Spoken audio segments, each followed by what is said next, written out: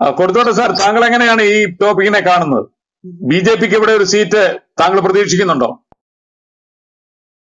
വരുന്നുണ്ട്.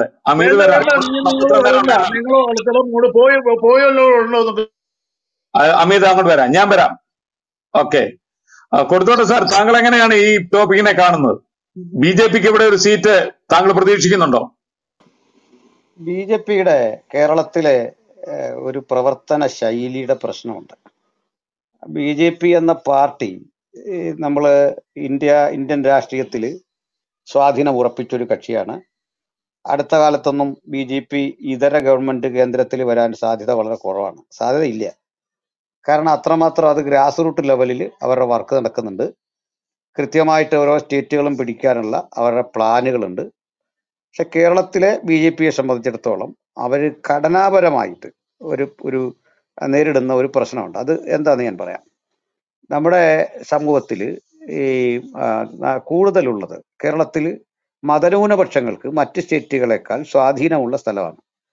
മതന്യൂനപക്ഷങ്ങൾ എന്ന് പറയുമ്പോൾ ക്രൈസ്തവരും മുസ്ലിങ്ങളും മറ്റ് സ്റ്റേറ്റുകളെ അപേക്ഷിച്ച് അവിടെയുള്ള ക്രിസ്ത്യാനികളെ പോലെയോ അവിടെയുള്ള മുസ്ലിങ്ങളെ പോലെയോ അവിടെയുള്ള ഹിന്ദുക്കളെ പോലെയല്ല ഇവിടുത്തെ ആളുകൾ എഡ്യൂക്കേറ്റഡ് ആണ് കൂടുതൽ എഡ്യൂക്കേറ്റഡ് ആണ് അപ്പോൾ മാത്രമല്ല അവിടെയുള്ള ഒരു ഒരു പരിതസ്ഥിതിയില്ല. ദാരിദ്ര്യം മറ്റു പ്രശ്നങ്ങൾ ഇല്ലിട്രസി ഇതൊന്നും കാര്യമായിട്ട് കേരളത്തിലില്ല. ഇല്ലെന്നല്ല അത്ര ഗൗരവമേറിയ ഒരു പ്രശ്നമല്ല.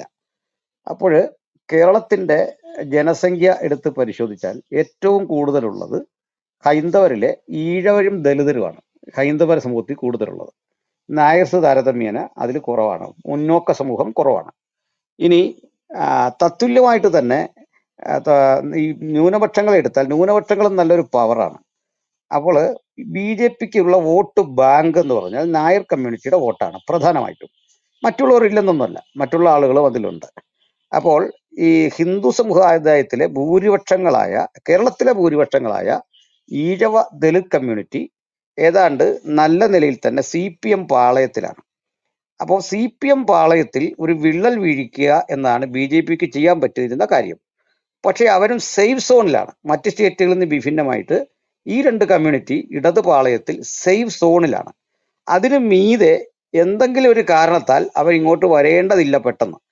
വിശേഷിച്ച് ഈഴവ കമ്മ്യൂണിറ്റി. കാരണം അവർക്ക് മുഖ്യമന്ത്രിയെ കിട്ടിയിട്ടുണ്ട് മുഖ്യമന്ത്രിമാരെ കിട്ടിയിട്ടുണ്ട് നിർണായകങ്ങളായ രാഷ്ട്രീയ രംഗത്തൊക്കെ അവരുണ്ട്. ദലിതർക്ക് മുഖ്യമന്ത്രിയോ മറ്റോ സംവിധാനങ്ങളോ ഒന്നും ഇല്ലെങ്കിൽ കൂടി അവർക്ക് മറ്റ് സ്റ്റേറ്റുകളെ അപേക്ഷിച്ച് ജീവിത നിലവാരത്തിൽ മെച്ചമുണ്ട്. മാത്രമല്ല ദേശാഭിമാനി കൈരളി ഇങ്ങനെ ഇവർക്ക് ഒരു ഒരു ബദൽ എന്താ കമ്പനി സിസ്റ്റം പോലെ അതിൽ തൊഴിലാളികളുണ്ട്. സി ഐ ടി യൂണിയൻ ശക്തമാണ്. അങ്ങനെ ഈ ബംഗാളിൽ ഒന്നും കണ്ടൊരു തകർച്ച സി പി എമ്മിന് പ്രതീക്ഷിക്കേണ്ട കേരളത്തിൽ. കാരണം അതിന്റെ രീതി അങ്ങനെയാണ്. അപ്പൊ ആ പിന്നെ പറ്റുന്നത് തങ്ങ ഈ ബി ജെ പി വളരുമ്പോൾ നായർ കമ്മ്യൂണിറ്റി കോൺഗ്രസ് നിൽക്കുന്ന നായർ കമ്മ്യൂണിറ്റിയുടെ ഒരു സ്വിഫ്റ്റ് യു ഡി എഫിന്റെ സ്വാഭാവികമായിട്ട് ബി ജെ പിക്ക് കിട്ടും. അതുകൊണ്ടും ജയിക്കില്ല. പിന്നെ വേണ്ട എന്താണ്? ഒന്നിൽ മുസ്ലിങ്ങളുടെ വോട്ട് വേണം അല്ലെങ്കിൽ ക്രൈസ്തവരുടെ വോട്ട് വേണം. ക്രൈസ്തവ മുസ്ലിം വോട്ടുകളിൽ കണ്ണുനട്ട് ബി ജെ പി നടത്തുന്ന തന്ത്രങ്ങൾ അത്ര കണ്ട് വിജയിച്ചിട്ടില്ല. കാരണം അവർക്കൊപ്പം പോയ ക്രിസ്ത്യൻ നേതൃത്വമുണ്ട്. ഉദാഹരണം അൽഫോൺസ് കണ്ണന്താനം അതല്ലെങ്കിൽ അബ്ദുള്ള കുട്ടി ഈ അൽഫോൺസ് കണ്ണന്താനത്തിന് സ്വന്തം നിലയിൽ കുറെ വോട്ട് പിടിക്കാൻ പറ്റുമെന്നുള്ളപരി ഒരു ക്രിസ്ത്യൻ മെജോറിറ്റിയുടെ വോട്ട് കൊണ്ട് അവിടെ കൊടുക്കാനുള്ളൊരു ശേഷിയില്ല. അത്തരം കരിസ്മയില്ല. അബ്ദുള്ളക്കുട്ടിയുടെ അവസ്ഥ അങ്ങനെ തന്നെയാണ്. ചുരുക്കത്തിൽ അബ്ദുള്ളക്കുട്ടിയാകട്ടെ അല്ലെങ്കിൽ അൽഫോൺസ് കണ്ണന്താനമാകട്ടെ ബി ജെ പിക്ക് ഒരു ബാധ്യതയാണ്. അതിന്റെ പരമ്പരാഗത പ്രവർത്തകർക്ക് ഒരു ബാധ്യതയാണ്. അവരിൽ നിന്ന് തിരിച്ചു ഗുണമില്ല. അതാണ് കാര്യം.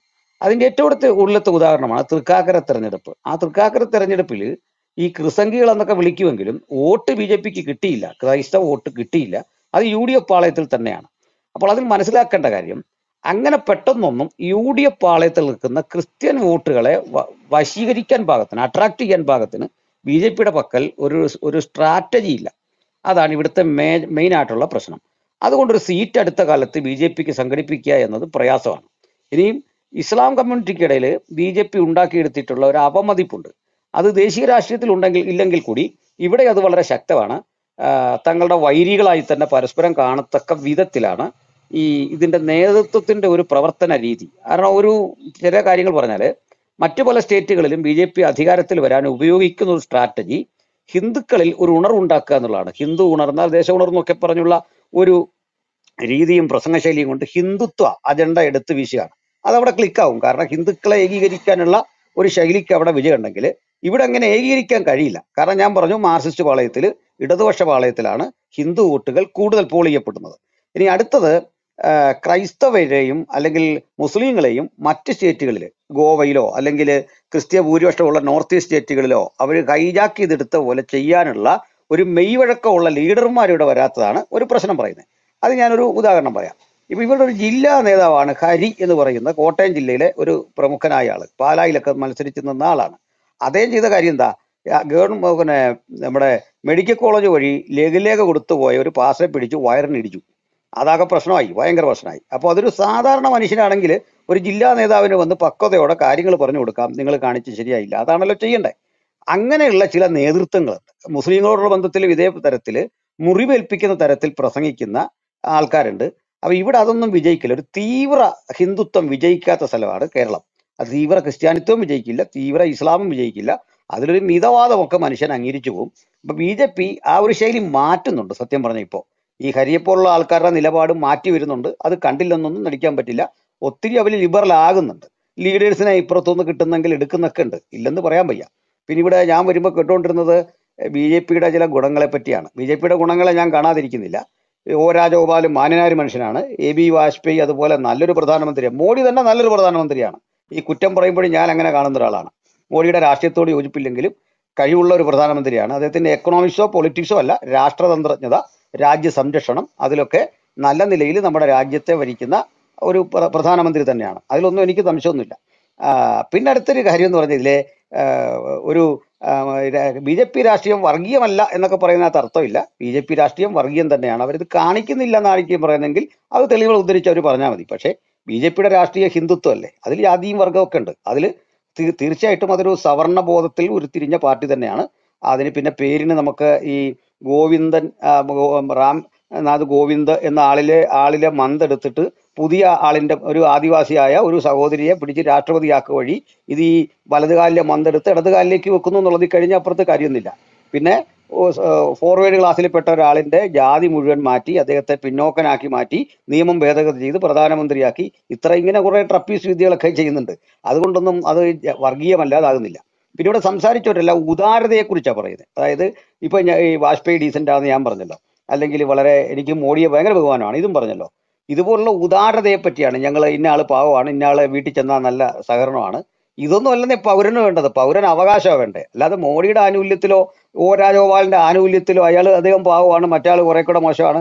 ഇതെല്ലാ രാഷ്ട്രീയത്തിലും പാവവും നല്ലവനും ഒക്കെ ഉണ്ട് നമുക്ക് വേണ്ടത് റൈറ്റ് ആണ് അവകാശം. പൗരന്റെ അവകാശം സംരക്ഷിക്കുക എന്നുള്ള അല്ലാതെ ഇത് അർത്ഥിച്ച് മേടിച്ച് വീട്ടിൽ ചെല്ലുമ്പോൾ കിട്ടേണ്ട ഒരു സഹായമൊന്നുമല്ല. അത് എല്ലാവരും ചെയ്യുന്നുണ്ട് എല്ലാ രാഷ്ട്രീയക്കാരും അത് പയറ്റുന്നുണ്ട്. അതിൽ ജന്മസിദ്ധമായി തന്നെ ഈ രാജഗോപാൽ വളരെ മാന്യനും നല്ല രീതിയിൽ ഇടപെടുന്ന ആളും ഒക്കെ തന്നെയാണ്. അതിൽ സംശയമൊന്നുമില്ല. പക്ഷെ പൊളിറ്റിക്സ് നമ്മൾ എടുത്തു പറയുമ്പോൾ ഇന്ന ഇത്തരത്തിലെ ചില ഘടകങ്ങൾ ബി ജെ പിക്ക് വളരെ ബദലായി നിൽക്കുന്നു. സുരേന്ദ്രനെ പോലെ ഒരാൾ അധികാരത്തിൽ വരുമ്പോൾ ഞാൻ ഒത്തിരി പ്രതീക്ഷിച്ചിരുന്നു സുരേന്ദ്രനിൽ നിന്ന്. ഒന്നിൽ അദ്ദേഹത്തിന് പ്രവർത്തിക്കാൻ വേണ്ട സ്വാതന്ത്ര്യം കിട്ടുന്നില്ല. അതല്ലെങ്കിൽ അദ്ദേഹത്തിന്റെ കാലഘട്ടത്തിൽ ബി ജെ പിക്ക് ഈ പറയുന്ന മേൽക്കോയ്മയൊന്നും സമൂഹത്തിൽ ഉണ്ടാക്കാൻ പറ്റിയില്ല. അപ്പോൾ ഇനി വരുന്നൊരു തെരഞ്ഞെടുപ്പിലും ബി ജെ പി ഈ രാഷ്ട്രീയ ഈ ജാതി സമവാക്യത്തെ അഡ്രസ്സ് ചെയ്യാതെ പോയി കഴിഞ്ഞാൽ അതിൽ നിന്നും കാര്യമായ എന്തെങ്കിലും ഒരു ഫലം ഉണ്ടാകും എന്ന് പ്രതീക്ഷിക്കാൻ വയ്യ എന്നാണ് എന്റെ നിരീക്ഷണം. വളരെ ക്ലിയർ ആണ് സാർ താങ്കൾ തുടരണം. ആ, ആർക്കെങ്കിലും ചോദ്യങ്ങൾ ചോദിക്കാനുണ്ടോ? ശ്രീ എന്തോ എന്താണ്? എനിക്ക് വേറെ ഒരു ഒരു കാര്യം പറഞ്ഞാൽ ഞാൻ കുറെ നേരം വെയിറ്റ് ചെയ്യുന്നു. അപ്പൊ എന്റെ ഒരു സംശയം? ഇവിടെ ഓക്കെ സംസാരിച്ചോളൂ. ശ്രീ സംസാരിച്ചിട്ട് ആർക്കയിലേക്ക് വരാം? ശ്രീ സംസാരിച്ചോളൂ. എന്റെ ഒരു സംശയം ഇവിടെ എല്ലാരും പറയുന്നു ബി ജെ പി വർഗീയതയാണ്. ഓക്കെ. ഈ ബി ജെ പി ഭരിക്കാത്ത ഈ വർഗീയ കേരളത്തിൽ ഈ വർഗീയത ഇല്ലാത്ത കേരളത്തിൽ നിന്നല്ല. ഏകദേശം സിറിയയിലോട്ട് ഉപരിപഠനത്തിന് വേണ്ടി ഏകദേശം നൂറിന് ആൾക്കാർ പോയത്. വിദ്യാഭ്യാസം ഇല്ലായിരുന്ന ഇല്ലായിരുന്ന സമയത്ത് യു പിയിൽ പ്രതിപക്ഷത്തിരുന്നവരല്ലേ ഇപ്പം? വിദ്യാഭ്യാസം കൂടിയപ്പോ യു പിയിൽ ഒരു മരുന്നിന് പോലും ഇല്ലല്ലോ. പിന്നെ കേരളത്തിലെ വിദ്യാഭ്യാസത്തിന്റെ ഗുണം കൊണ്ടാണ് ശ്രീലങ്കയെ പൊട്ടിത്തെറിച്ചപ്പം അറുപത് പേര് ഇപ്പോഴും നിരീക്ഷണത്തിലാണ്. ഒരു രണ്ട് മൂന്ന് മാസം മുമ്പ് ഒമാൻ അതിർത്തിയിൽ നിന്ന് ഒരു പതിനഞ്ചംഗ ഫാമിലിയെ പിടിച്ച് തിരിച്ചു വിട്ടിട്ടുണ്ട് അവർ. ഇതൊക്കെ വിദ്യാഭ്യാസം കൂടുതലുള്ളതിന്റെ ഗുണമാണെന്ന് വിശ്വസിക്കുന്നു. ബാക്കിയുള്ള സംസ്ഥാനത്തൊന്നും ഇങ്ങനെയല്ല.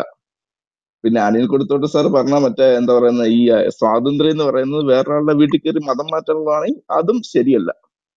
എനിക്ക് വേറെ ഒന്നും പറയാനില്ല വളരെ ക്ലിയർ ആണ്. ഞാൻ ആർക്കയിലേക്ക് ഇന്ന് പോവുകയാണ്. ആർക്കെ താങ്കൾക്ക് എന്താണ് പറയാനുള്ളത്? ഓക്കെ ഞാൻ ഇത്ര നേരം വന്നിട്ട് ഞാൻ ഏകദേശം ഒരു മണിക്കൂർ മേലായി. ഇതിന് ഇതിന്റെ ഇടയിൽ ഞാനൊരു എന്താ പറയാ രണ്ടു മൂന്ന് സംഭവങ്ങൾ പറയുക അല്ലാതെ ഒരു ജാതിയുടെ പേരെടുത്ത് ഇതുവരെ വിമർശിച്ചിട്ടില്ല.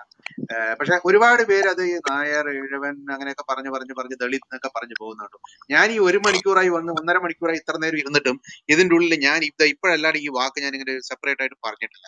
കാരണം എന്താന്ന് പറഞ്ഞാൽ ഈ പറയുന്ന പോലെ നിങ്ങളൊക്കെ ആക്ഷേപിക്കുന്ന വിധത്തിൽ ഞാൻ അല്ല വിശ്വസിക്കുന്നില്ല നിങ്ങളൊക്കെ ആക്ഷേപിക്കുന്ന വിധത്തിൽ ഞാൻ ഒരു വർഗീയ ബി ജെ പി ആയതുകൊണ്ടായിരിക്കാം. ഞാനത് പറയാത്തത്. അത് പറയില്ല മാത്രമല്ല ഞാൻ എന്റെ പ്രവൃത്തിയിൽ കാണിക്കാറില്ല. പിന്നെ കൊടിത്തോട്ടം പറഞ്ഞ കൊടിത്തോട്ടം സാർ പറഞ്ഞ രണ്ട് മൂന്ന് കാര്യങ്ങൾ അദ്ദേഹം രാജഗോപാലേട്ടനെ അംഗീകരിക്കുന്നു. പ്രധാനമന്ത്രി അദ്ദേഹത്തിന്റെ ആശയവിരുദ്ധത ഉണ്ടെങ്കിലും അത് ചില കാര്യങ്ങളൊക്കെ പറഞ്ഞു. വളരെ നന്നായി പറഞ്ഞുകൊണ്ട് തന്നെ എന്താ പറയുക അദ്ദേഹം ഒരു നിഷ്പക്ഷമായ സ്റ്റാൻഡാണ് അദ്ദേഹം സ്വീകരിച്ചത്. പക്ഷെ കേരളത്തിലോട്ട് വരുമ്പോൾ ഇങ്ങനെയൊക്കെ ഒരു പ്രശ്നമുണ്ട് പറഞ്ഞു. കേരളത്തിലെ പ്രശ്നം ഞാൻ മുന്നേ തൊട്ട് പറയുന്നുണ്ട്. ഇവിടെ ഒരു ഡെമോഗ്രാഫിക്കൽ പ്രോബ്ലം ഉണ്ട്. അത് ബി ജെ പി ആയി ക്രിയേറ്റ് ചെയ്ത് വെച്ചല്ല പക്ഷെ ബി ജെ പിക്ക് മേലെ ചാപ്പ കുത്തിയിട്ടുള്ളതാണ്. അത് ആദ്യത്തെ കൊലപാതക രാഷ്ട്രീയ കൊലപാതകം തൊട്ട് അത് ആരാണെന്ന് ആരാണ് നിങ്ങൾക്കറിയാം? വാടിക്കൽ രാമകൃഷ്ണൻ എന്നുള്ള രാഷ്ട്രീയ കൊലപാതകം തൊട്ട് ഇങ്ങോട്ട് ഇന്ന് വരെ ഒരു പ്രമുഖ പാർട്ടിയുമായിട്ട് ഉണ്ടാകുന്ന വൈരുദ്ധ്യം. ആയിരത്തി തൊള്ളായിരത്തി ഇരുപത്തഞ്ച് നടത്തിൽ തുടങ്ങിയ സംഘവും ആയിരത്തി തൊള്ളായിരത്തി ഇരുപത്തി ഒമ്പതിൽ തുടങ്ങിയ കമ്മ്യൂണിസ്റ്റ് പാർട്ടിയും തമ്മിലുള്ള ഒരു പോരാട്ടം. അത് വളരെ കലാപരൂക്ഷിതമായ ഒരു സമയം ഉണ്ടായിരുന്നു ഒരു തലശ്ശേരി കലാപം മുപ്പത്തിമൂന്ന് പള്ളികൾ പൊളിച്ചതുണ്ടായിരുന്നു. അവരാണ് ഇന്ന് ഈ ചെറു ഈ പറയുന്ന ന്യൂനപക്ഷ സമുദായ സമുദായത്തിന്റെ സംരക്ഷകർ എന്ന ലേബൽ ഒട്ടിച്ച് ഇന്ന് അവരെ കൂടെ ചേർത്ത് നിൽക്കാൻ നോക്കുന്നത്. ഞങ്ങൾക്ക് ആരോടും വിരോധമില്ല. അത് ഇന്നും അന്നും എന്നും പറയുന്നതാണ്. ഞങ്ങളുടെ ഹിന്ദുത്വ എന്ന് പറയുന്നത് സർസംഘ ചാലക് പറഞ്ഞിട്ടുണ്ട്. ഇവിടെ ജനിക്കുന്നത് ഹിമാലയത്തിനും ഇന്ത്യൻ ഓഷ്യനും ഇടയിൽ ജനിക്കുന്നവരെ ഞങ്ങളെല്ലാം ഹിന്ദുവായി കാണുന്നു. അവരെല്ലാം ഒരുമയോടുകൂടി കൊണ്ടുപോകാനും സാഹചര്യത്തോടും സമാനത്തോടും കൂടി മുൻ ചേർത്ത് പിടിച്ചു കൊണ്ടുപോകാനും ഞങ്ങൾ ആഗ്രഹിക്കുന്നു എന്ന് പറഞ്ഞിട്ടുണ്ട്. ഞങ്ങൾ കാണുന്നത് നിങ്ങൾക്ക് ഇഷ്ടമില്ലെങ്കിൽ നിങ്ങൾ എടുക്കണ്ട അത്രേ ഉള്ളൂ. അല്ലാതെ ഇനിയിപ്പോ നിങ്ങൾ ഞങ്ങൾ ആരെയും വർഗം തിരിച്ചിട്ടോ വേർതിരിച്ചിട്ടോ കാണുന്നില്ല. ഓരോന്നിനും അതിന്റെതായ സാമൂഹികപരമായിട്ടുള്ള എല്ലാ കാര്യങ്ങളിലും അതിലുള്ള വേണ്ടത് ഊന്നിക്കൊണ്ട് തന്നെയാണ് ബി ജെ പി പ്രവർത്തിക്കുന്നത് മുന്നോട്ട് പോകുന്നത്. അതുകൊണ്ട് തന്നെ അറുപതുകളിൽ അമ്പത്തിരണ്ട് സീറ്റ് ഉണ്ടായിരുന്ന സി പി ഐ എന്ന് പറയുന്നത് ഇന്ന് മൂന്ന് സീറ്റ്. ആകെ സി പി എം എന്ന പാർട്ടിക്ക് ഇന്ന് ഒരു സീറ്റേ ഉള്ളൂ. ബാക്കി രണ്ടെണ്ണം തമിഴ്നാട് ഡി ഡി എം കെയുടെ ഇതിലാണ് ഔദാര്യതയാണ്. ഈ പാർട്ടി അവിടെ കിടക്കുന്നു ഞങ്ങൾ ഇത്ര ഇതായിട്ട് നിൽക്കുന്നു. അപ്പോ അത് ഒരു സത്യമാണ്. കേന്ദ്രത്തിൽ അങ്ങനെ ഏറ്റവും ഉന്നതിയിൽ തന്നെ നിൽക്കുന്നു എന്നുള്ള ഒരു സത്യമാണ്. രണ്ടാം പ്രാവശ്യത്തെ ഭൂരിപക്ഷം വർദ്ധിപ്പിച്ചുകൊണ്ട് തന്നെ സർക്കാർ വന്നു എന്നുള്ളതും ഒരു വലിയ സത്യമാണ്. ആ സത്യത്തെ നമുക്ക് ഇല്ലാന്ന് കാണാതെ മുന്നോട്ട് പോയതുകൊണ്ട് കാര്യമില്ല. കേരളത്തിലോട്ട് വരുന്ന സമയത്ത് കേരളത്തിലെ സമവാക്യങ്ങൾ ഇദ്ദേഹം പറഞ്ഞ പോലെ ഞാൻ ആ ജാതി ഊതി പറയുന്നില്ലെങ്കിൽ ജാതി സമവാക്യങ്ങൾ ഉണ്ട്. ഇല്ല എന്നല്ല. പക്ഷെ ഞങ്ങൾ അതിലോട്ട് ഇപ്പോഴും ഈ ജാതി ജാതി എന്നുള്ള ഞങ്ങൾക്ക് ഭാരതീയരുടെ വോട്ടാണ് വേണ്ടത്. ആരൊക്കെയാണോ ഭാരതത്തെ സ്നേഹിക്കുന്നത് അവരുടെ വോട്ടാണ് ഞങ്ങൾ പ്രത്യേകിച്ച് ഊന്നി പറയാറുള്ളത്. ഞങ്ങൾ ഒരിക്കലും ഇന്ന ആൾക്കാരുടെ വോട്ട് വേണം ഇന്ന ആൾക്കാരുടെ വോട്ട് വേണം എന്നല്ല ഞങ്ങൾ എപ്പോഴും ഞങ്ങളുടെ ഏതൊരു നേതാവായാലും അന്നും ഇന്നും. ഇനി അതൊരു അപാകതയാണെങ്കിൽ ആ അപാകതയ്ക്ക് നിങ്ങളൊരു വർഗീയത എന്നൊരു പേരിട്ടിട്ടുണ്ടെങ്കിൽ ആയിക്കോട്ടെ. അതൊരു നിങ്ങളുടെ അഭിപ്രായമാണ്. അത് ബഹുമാനിക്കാൻ എനിക്ക് അത് അഭിപ്രായ സ്വാതന്ത്ര്യത്തെ ഞാൻ ബഹുമാനിച്ചുകൊണ്ട് തള്ളിക്കളയാൻ എനിക്ക് ഏഹ് നിർവാഹമില്ല അപ്പൊ ഈ പറയുന്ന ഒരു രാഷ്ട്രീയമാണ്. പിന്നെ ഈ ഈ പറയുന്ന നിങ്ങൾ ഈ നോർത്തിൽ കണ്ടുകൊണ്ട് അവിടെ വർഗീയത ഉണ്ടെന്ന് പറയുന്ന പലരെയൊക്കെ ഞാൻ കണ്ടിട്ടുണ്ട്. ഒരുപാട് പേര് വല്ലാതെ അങ്ങ് ബി ജെ പി അതാണ് ഇതാണെന്ന്. കഴിഞ്ഞ എട്ട് വർഷത്തിൽ വലിയ ഒരു തരത്തിൽ അതിനു മുന്നേ പത്ത് വർഷത്തിൽ ഉണ്ടായിരുന്ന സ്ഫോടനങ്ങളുടെ പത്ത് ശതമാനം അല്ലെങ്കിൽ അഞ്ച് ശതമാനം പോലും നടന്നിട്ടില്ല. അത് അതും പറയുമ്പോ ഇതൊരു നല്ല കാര്യമല്ലേ എന്ന് ജനങ്ങളുടെ ആശങ്കയാണ് ഇവിടെ പങ്കുവെക്കുന്നത്. ഒരു മിനിറ്റ്.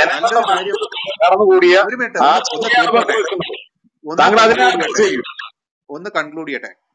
അങ്ങനെ ഒരു നല്ല കാര്യം പറയുമ്പോ ഓ അന്ന് ബി ജെ പി ആണ് ഇതെല്ലാം ചെയ്തത്. അന്ന് ബി ജെ പി ആണ് ഇതെല്ലാം ചെയ്തത്. പ്രതിപക്ഷത്ത് ഇന്ന് ഭരണത്തിരിക്കുമ്പോ ചെയ്യില്ല.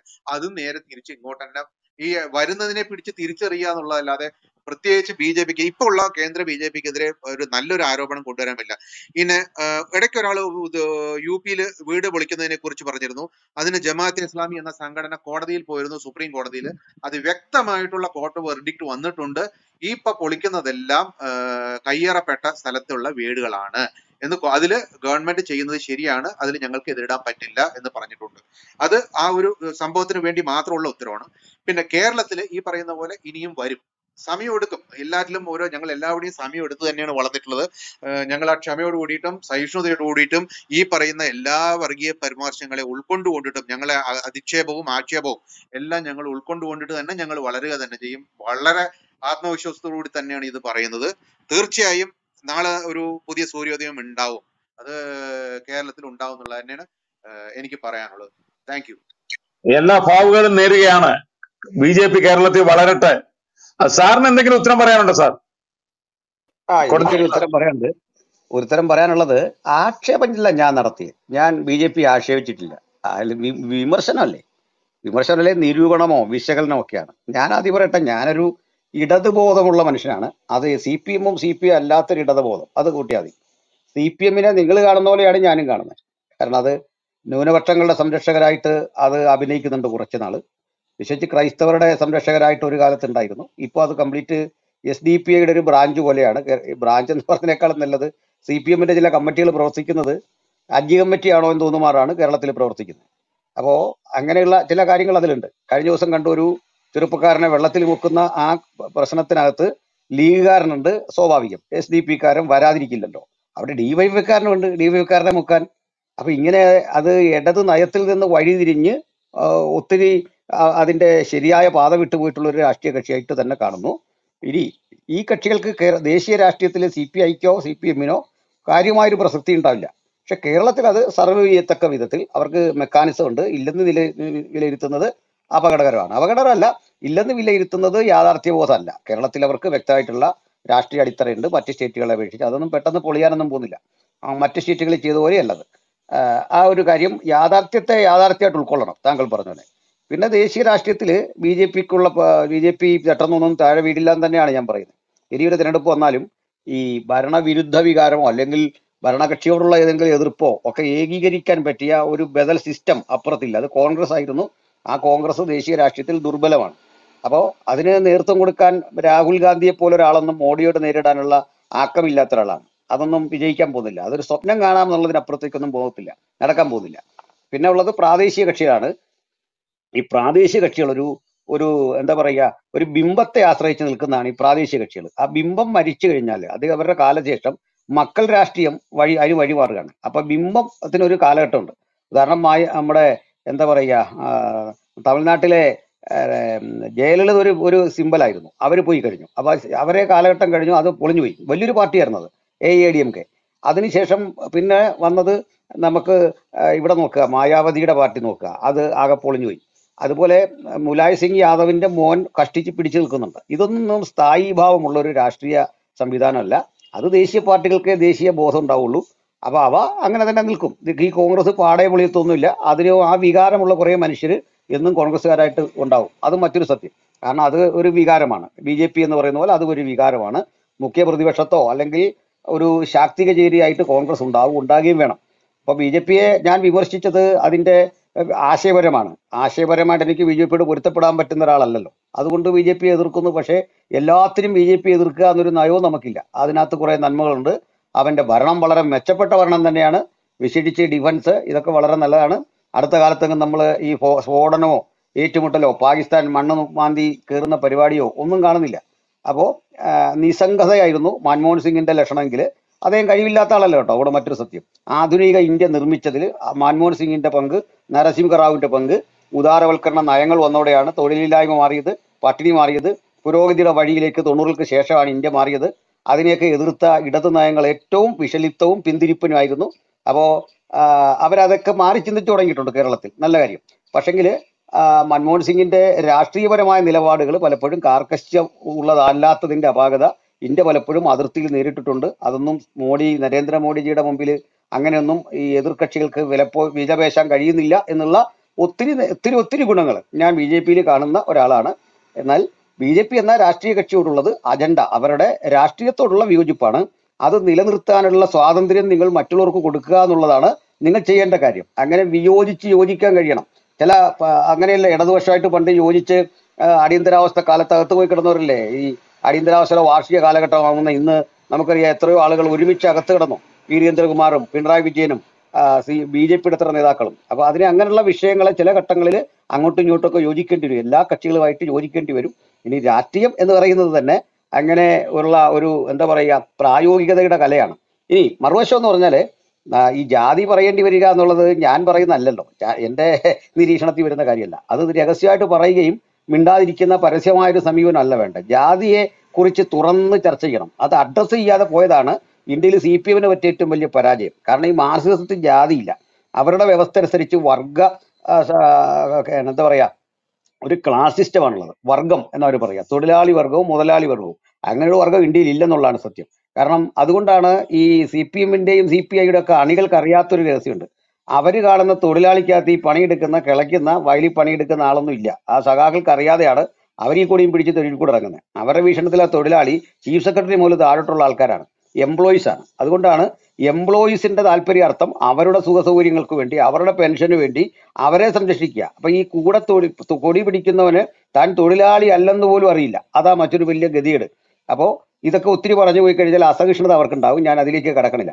അപ്പോൾ എംപ്ലോയീസിന്റെ സുഖ സൗകര്യങ്ങൾക്ക് വേണ്ടി എൻ ജി ഒകൾക്ക് വേണ്ടി അങ്ങനെയൊക്കെയുള്ള പൊതുമേഖലയിൽ പൊതുമേഖലയ്ക്ക് വേണ്ടി വാദിക്കുന്ന തന്നെ മനുഷ്യനോടുള്ള സ്നേഹം കൊണ്ടല്ല. മറിച്ച് ഈ പൊതുമേഖലയിൽ ഇത്രയും തൊഴിലവസരങ്ങൾ ഉണ്ടാക്കിയിട്ട് ആ ആളുകളെ മുഴുവൻ തൊഴിലാളികളായിട്ട് സംരക്ഷിക്കുക. അല്ല തെങ്ങേ കയറുന്നവനോ പണിയെടുക്കുന്നവനോ അടിസ്ഥാനപരമായി പണിയെടുക്കുന്നവരോ ഒന്നും ഈ മാർസ് വിഭാവനം ചെയ്ത തൊഴിൽ തൊഴിലാളി സങ്കല്പത്തിൽ ഇല്ല. ഇത് പലർക്കും അറിയാതെയാണ് ഇതിൽ ചെന്ന് പെട്ടുപോകുന്നത്. ഇനിയും പിന്നെ അടുത്ത അടുത്ത വിഷയം കൂടെ പറയാം. അപ്പൊ ഇവിടെ ഇന്ത്യയെ കണ്ട മാർസിന് ഇന്ത്യൻ ജാതി വ്യവസ്ഥയെ അഡ്രസ് ചെയ്യാൻ കഴിഞ്ഞില്ല. കാരണം ഇന്ത്യയിൽ ഈ തൊഴിലാളി മുതലാളി സംഘടന ആയിരുന്നില്ല കാരണം അതൊരു വർണവർഗ വ്യവസ്ഥിതിയുടെ അടിസ്ഥാനത്തിൽ ക്ലാസ് ചെയ്യപ്പെട്ട സമൂഹങ്ങളായിരുന്നു. ആ ക്ലാസ്സിനെ അഡ്രസ് ചെയ്തില്ല. അതിനെ അഡ്രസ് ചെയ്ത ഒരു രാഷ്ട്രീയം ഇന്ത്യ മഹാരാജ്യത്ത് പ്രായോഗികമല്ല. താങ്കളുടെ മനസ്സിൽ ജാതി ഇല്ല നല്ല കാര്യം. നല്ല കാര്യം പക്ഷേ അത് ഇന്ത്യൻ മനസ്സിൽ അത് യാഥാർത്ഥ്യമായിട്ട് കിടപ്പുണ്ട്. അത് അടിത്തട്ടി കിടപ്പുണ്ട്. ആ അടിത്തട്ടിൽ അതിനെ രാഷ്ട്രീയ ചികിത്സ നൽകേണ്ട കാര്യമാണ്. അല്ല നിങ്ങൾക്കില്ല രാജഗോപാലിനില്ല എന്റെ വീട്ടിൽ വരുന്നവർക്കില്ല അപ്പുറത്തെ വീട്ടുകാരനുണ്ട്. അതിലൊന്നും അർത്ഥമില്ല. അതിനെ കൃത്യമായി തന്നെ നമ്മൾ അഡ്രസ്സ് ചെയ്യേണ്ട പ്രശ്നം തന്നെയാണ് അത് അല്ലെങ്കിൽ ആസൂത്രിതമായി അഡ്രസ്സ് ചെയ്യുന്നുണ്ടല്ലോ. അതുകൊണ്ടാണ് നിങ്ങളുടെ ഒരു കാൻഡിഡേറ്റ് കൊല്ലത്ത് നിന്ന് മത്സരിച്ചിട്ട് മുൻ സ്ഥാനാർത്ഥിയുടെ അത്ര വോട്ട് പിടിച്ചില്ല കാരണം എന്താണ്? നിങ്ങൾക്ക് തന്നെ അറിയാം കാരണം എന്താണെന്ന്. അപ്പോ പ്രേമേന്ദ്രന്റെ ഒക്കെ അടുത്ത് മത്സരിച്ചല്ലോ. കഴിഞ്ഞ തെരഞ്ഞെടുപ്പുകളിൽ മത്സരിച്ചല്ലോ. അത് കാരണം ജാതി ഉള്ളത് കൊണ്ട് തന്നെയാണ്. പൊതുമണ്ഡലത്തിൽ നിർത്തി കഴിഞ്ഞാൽ ബി ജെ പി ആണെങ്കിലും സി പി എം ആണെങ്കിലും സി പി ഐ ആണെങ്കിലും വോട്ട് ചെയ്യില്ല. അപ്പോൾ അങ്ങനെയൊക്കെയുള്ള പ്രശ്നങ്ങളുണ്ട്. ഇന്നും അതൊന്നും നമ്മുടെ രാജ്യത്ത് നിന്ന് പോയിട്ടില്ല. അപ്പോൾ അപൂർവം ചില സ്ഥലങ്ങളിൽ മാറ്റം ഉണ്ടായേക്കാം. മാറ്റം ഉണ്ടാകുന്നെങ്കിൽ നല്ലത്. എല്ലാവരെയും കുറിച്ചാണ് പറയുന്നത് സ്ത്രീകളെ നിർത്തിയുള്ള ചിന്ത സ്ത്രീകളെ കൊണ്ട് പുരുഷനെതിരെ നിർത്തിയാൽ അപൂർവ ഘട്ടങ്ങളെ ജയിക്കൂ. അല്ലെങ്കിൽ അത്രമാത്രം സാമർത്ഥ്യമുള്ള സ്ത്രീകൾ. സ്ത്രീകൾ ഇന്നും കനത്ത വിവേചനം ഈ പാർട്ടികളിലെല്ലാം നേരിടുന്നുണ്ട്. അതിന്റെ അർത്ഥം നമ്മൾ ഇത് മിണ്ടാതിരിക്കണം മിണ്ടാതിരിക്കണമെന്നാണോ? സ്ത്രീകൾ നേരിടുന്ന രാഷ്ട്രീയപരമായ വിവേചനത്തെ നേരിടണം. നമ്മുടെ നിയമസഭയിൽ എത്ര സ്ത്രീകളുണ്ട്? ഉമ ഉമ കൂടി സത്യപ്രതിജ്ഞ ചെയ്തപ്പോഴാണ് രണ്ട് സ്ത്രീകളെ യു ഡി എഫ് അവിടെ എത്തിച്ചത്. ഓർത്ത് നോക്കണം മുഖ്യമന്ത്രിയാവുമെന്ന് അത്ര അതിനേക്കാൾ കഴിവുള്ള ഒരു സ്ത്രീയായിരുന്നു നമ്മുടെ മുൻ ആരോഗ്യമന്ത്രി. അവരുടെ അവസ്ഥ ഇന്ന് എന്താ? ഇനി അവരെ വീണ്ടും ഒരിക്കൽ കൂടി ഒരു മന്ത്രിയാക്കോ ഒരു എം എൽ എ പോലും ആക്കില്ലല്ലോ. അവരെ ആ ടൈം അങ്ങനെ വെച്ചിരിക്കുന്നതൊക്കെ ചിലരെ ടാർഗറ്റ് ചെയ്തില്ലേ അപ്പൊ ഇങ്ങനെയൊക്കെയുള്ള സ്ഥിതിവിശേഷം നമ്മുടെ കൺമുമ്പിലുണ്ട്. അത് കണ്ടില്ലെന്ന് പറഞ്ഞിട്ട് കാര്യമുണ്ടോ? അത് കാണണം അതിനെ അഡ്രസ്സ് ചെയ്യണം പാർട്ടികൾക്കെല്ലാം അതിനുള്ള വിശാലമായ കാഴ്ചപ്പാടുണ്ടാകണം. അങ്ങനെയാണ് ഇത് മാറ്റേണ്ടത്. ജാതി ഇല്ല എന്നല്ല പറയേണ്ടത്. ജാതിക്കെതിരാണെന്നാണ് പറയേണ്ടത്. ജാതി ഇല്ല എനിക്കെന്ന് പറയുന്നതിനകത്ത് ഒരു അർത്ഥമില്ല താങ്കൾ വിവാഹം കഴിക്കുമ്പോൾ താങ്കളുടെ മക്കളെ വിവാഹം കഴിപ്പിക്കുമ്പോൾ താങ്കളുടെ സമൂഹത്തിലൊക്കെ ഇതുണ്ട്. എന്റെയും ഉണ്ട് കേട്ടോ. എന്റെ നിങ്ങളുടെ എല്ലാം ജീവിതത്തിൽ ഇതുണ്ട്. അവയെ അഡ്രസ്സ് ചെയ്യണം. അഡ്രസ്സ് ചെയ്തിട്ട് താങ്കൾ പറയണം. ഞാൻ അതിനെതിരാണെന്നാണ് പറയേണ്ടത്. അല്ല ഇവിടെ ജാതി ഇല്ലെന്ന് പറഞ്ഞിട്ട് കാര്യമില്ല. ലോകത്തിലെ ഏറ്റവും വലിയ വർഗീയവാദി സർക്കാരാണ്. കാരണം നിങ്ങൾ ഓഫീസിൽ ചെല്ലുമ്പോൾ നിങ്ങളുടെ ജാതി ഇറങ്ങിയേ പറ്റുള്ളൂ. ഏറ്റവും വലിയ ജാതി ചോദിക്കുന്ന ആൾ സർക്കാർ തന്നെയാണ്. അപ്പൊ സർക്കാരിന്റെ മുമ്പിൽ ഇതുണ്ട് ലീഗലി ഇതുണ്ട്. അപ്പൊ അതിനെ കണ്ടില്ലെന്ന് പറയാൻ പറ്റുമോ? അതുകൊണ്ടാണ് നമ്മൾ നായർ വോട്ട് എന്ന് കൃത്യം പറയുന്നത്. നായർ വോട്ടെന്ന് തന്നെ പറയണം. അതിലെ താക്കോൽ സ്ഥാനത്ത് പ്രതിഷ്ഠിക്കണമെന്ന് പറഞ്ഞ് ചെന്നിത്തലയെ പിടിച്ചാക്കി അയാളുടെ രാഷ്ട്രീയ ഭാവി തന്നെ എൻ എസ് കളഞ്ഞില്ലേ? മുഖ്യമന്ത്രി ആകേണ്ട മനുഷ്യനല്ലേ? ഈ ഒറ്റ വാക്കുകൊണ്ട് മറ്റുള്ള ആൾക്കാർക്ക് എതിരായി അപ്പൊ ഇതൊക്കെ ഉള്ളത് കൊണ്ടാണ്. അത് പെരുന്നേലിരുന്നു കൊണ്ടോ അല്ലെങ്കിൽ മെത്രാന്മാരോ അല്ലെങ്കിൽ പാണക്കാട് ഇരുന്നു കൊണ്ടോ ഒക്കെ ഓപ്പറേറ്റ് ചെയ്യുന്ന ജാതി തന്നെയാണ്. അതിനകത്ത് മാറ്റമൊന്നുമില്ല. അപ്പോൾ അല്ല വേറെന്താ അവിടെ പറയാനിരിക്കുന്നത് ഇതിനുവേണ്ടി ഇങ്ങനെ കൂടിയിട്ട് വേറൊന്നും പറയാനില്ല. അപ്പോൾ ഈ ഒരു യാഥാർത്ഥ്യമുണ്ട്. അങ്ങത് കാണാതിരിക്കരുത്. അതിനെ അഡ്രസ്സ് ചെയ്യേണ്ടതുമാണ്. പിന്നെ വേറൊരു കാര്യം കൂടെ പറഞ്ഞു ഞാൻ നിർത്തിയേക്കാം. വേറൊരു കാര്യം എന്ന് പറഞ്ഞാൽ ഹിന്ദുത്വം എന്ന് പറയുന്നത് ഇന്ത്യ ജനിച്ചോന്റെ എല്ലാം കാര്യമാണ്. അങ്ങനെയാണെങ്കിൽ ആദ്യം പറഞ്ഞതിനെതിരാവും. മതം മാറ്റം വീട്ടിൽ കയറി നടത്തുന്നു. ഞങ്ങളാരും ചെയ്യാറില്ല. അത് രാജ്യവിരുദ്ധമാണ്. മതം മാറ്റമല്ല മതപ്രചരണം അർഹിക്കുന്ന ഇടത്തെല്ലാം ചെയ്യാം. അത് ഇഷ്ടമുള്ളവൻ ചേരും. ഇഷ്ടമില്ലാത്തവൻ അതിനെ തള്ളിക്കളയും. ഇതാണ് കാര്യം. അപ്പൊ അതിനകത്ത് ഇത് ഈ മതം മാറ്റം എന്ന് പറഞ്ഞ എന്തോ ഒരു പ്രത്യേക ഉമ്മാക്കി കാട്ടിയിട്ട് ആളുകളെ ഇങ്ങനെ ഭയപ്പെടുത്തുന്ന ഒരു ശൈലിയുണ്ട്. അതിനകത്തൊന്നും അർത്ഥമില്ല. കാരണം ഇന്ത്യയിൽ ജനിച്ചു വളർന്ന പൗരന്റെ സ്വാതന്ത്ര്യമാണ് ഇഷ്ടമുള്ള മതം സ്വീകരിക്കാനും തള്ളിക്കളയാനും നിരീശ്വരനാകാനും ഒക്കെ ഉള്ള അവന്റെ അധികാരത്തിന് വിലപേശാൻ നിങ്ങൾ ആരാണ് അല്ലെ ഞാൻ ആരാണ് അത് ചെയ്യേണ്ടെന്ന് പറയാൻ നിങ്ങളെ വീട്ടിൽ വരുന്നവനെ നിരാകരിക്കാനും സ്വീകരിക്കാനും നിങ്ങൾക്ക് സ്വാതന്ത്ര്യമുണ്ട്.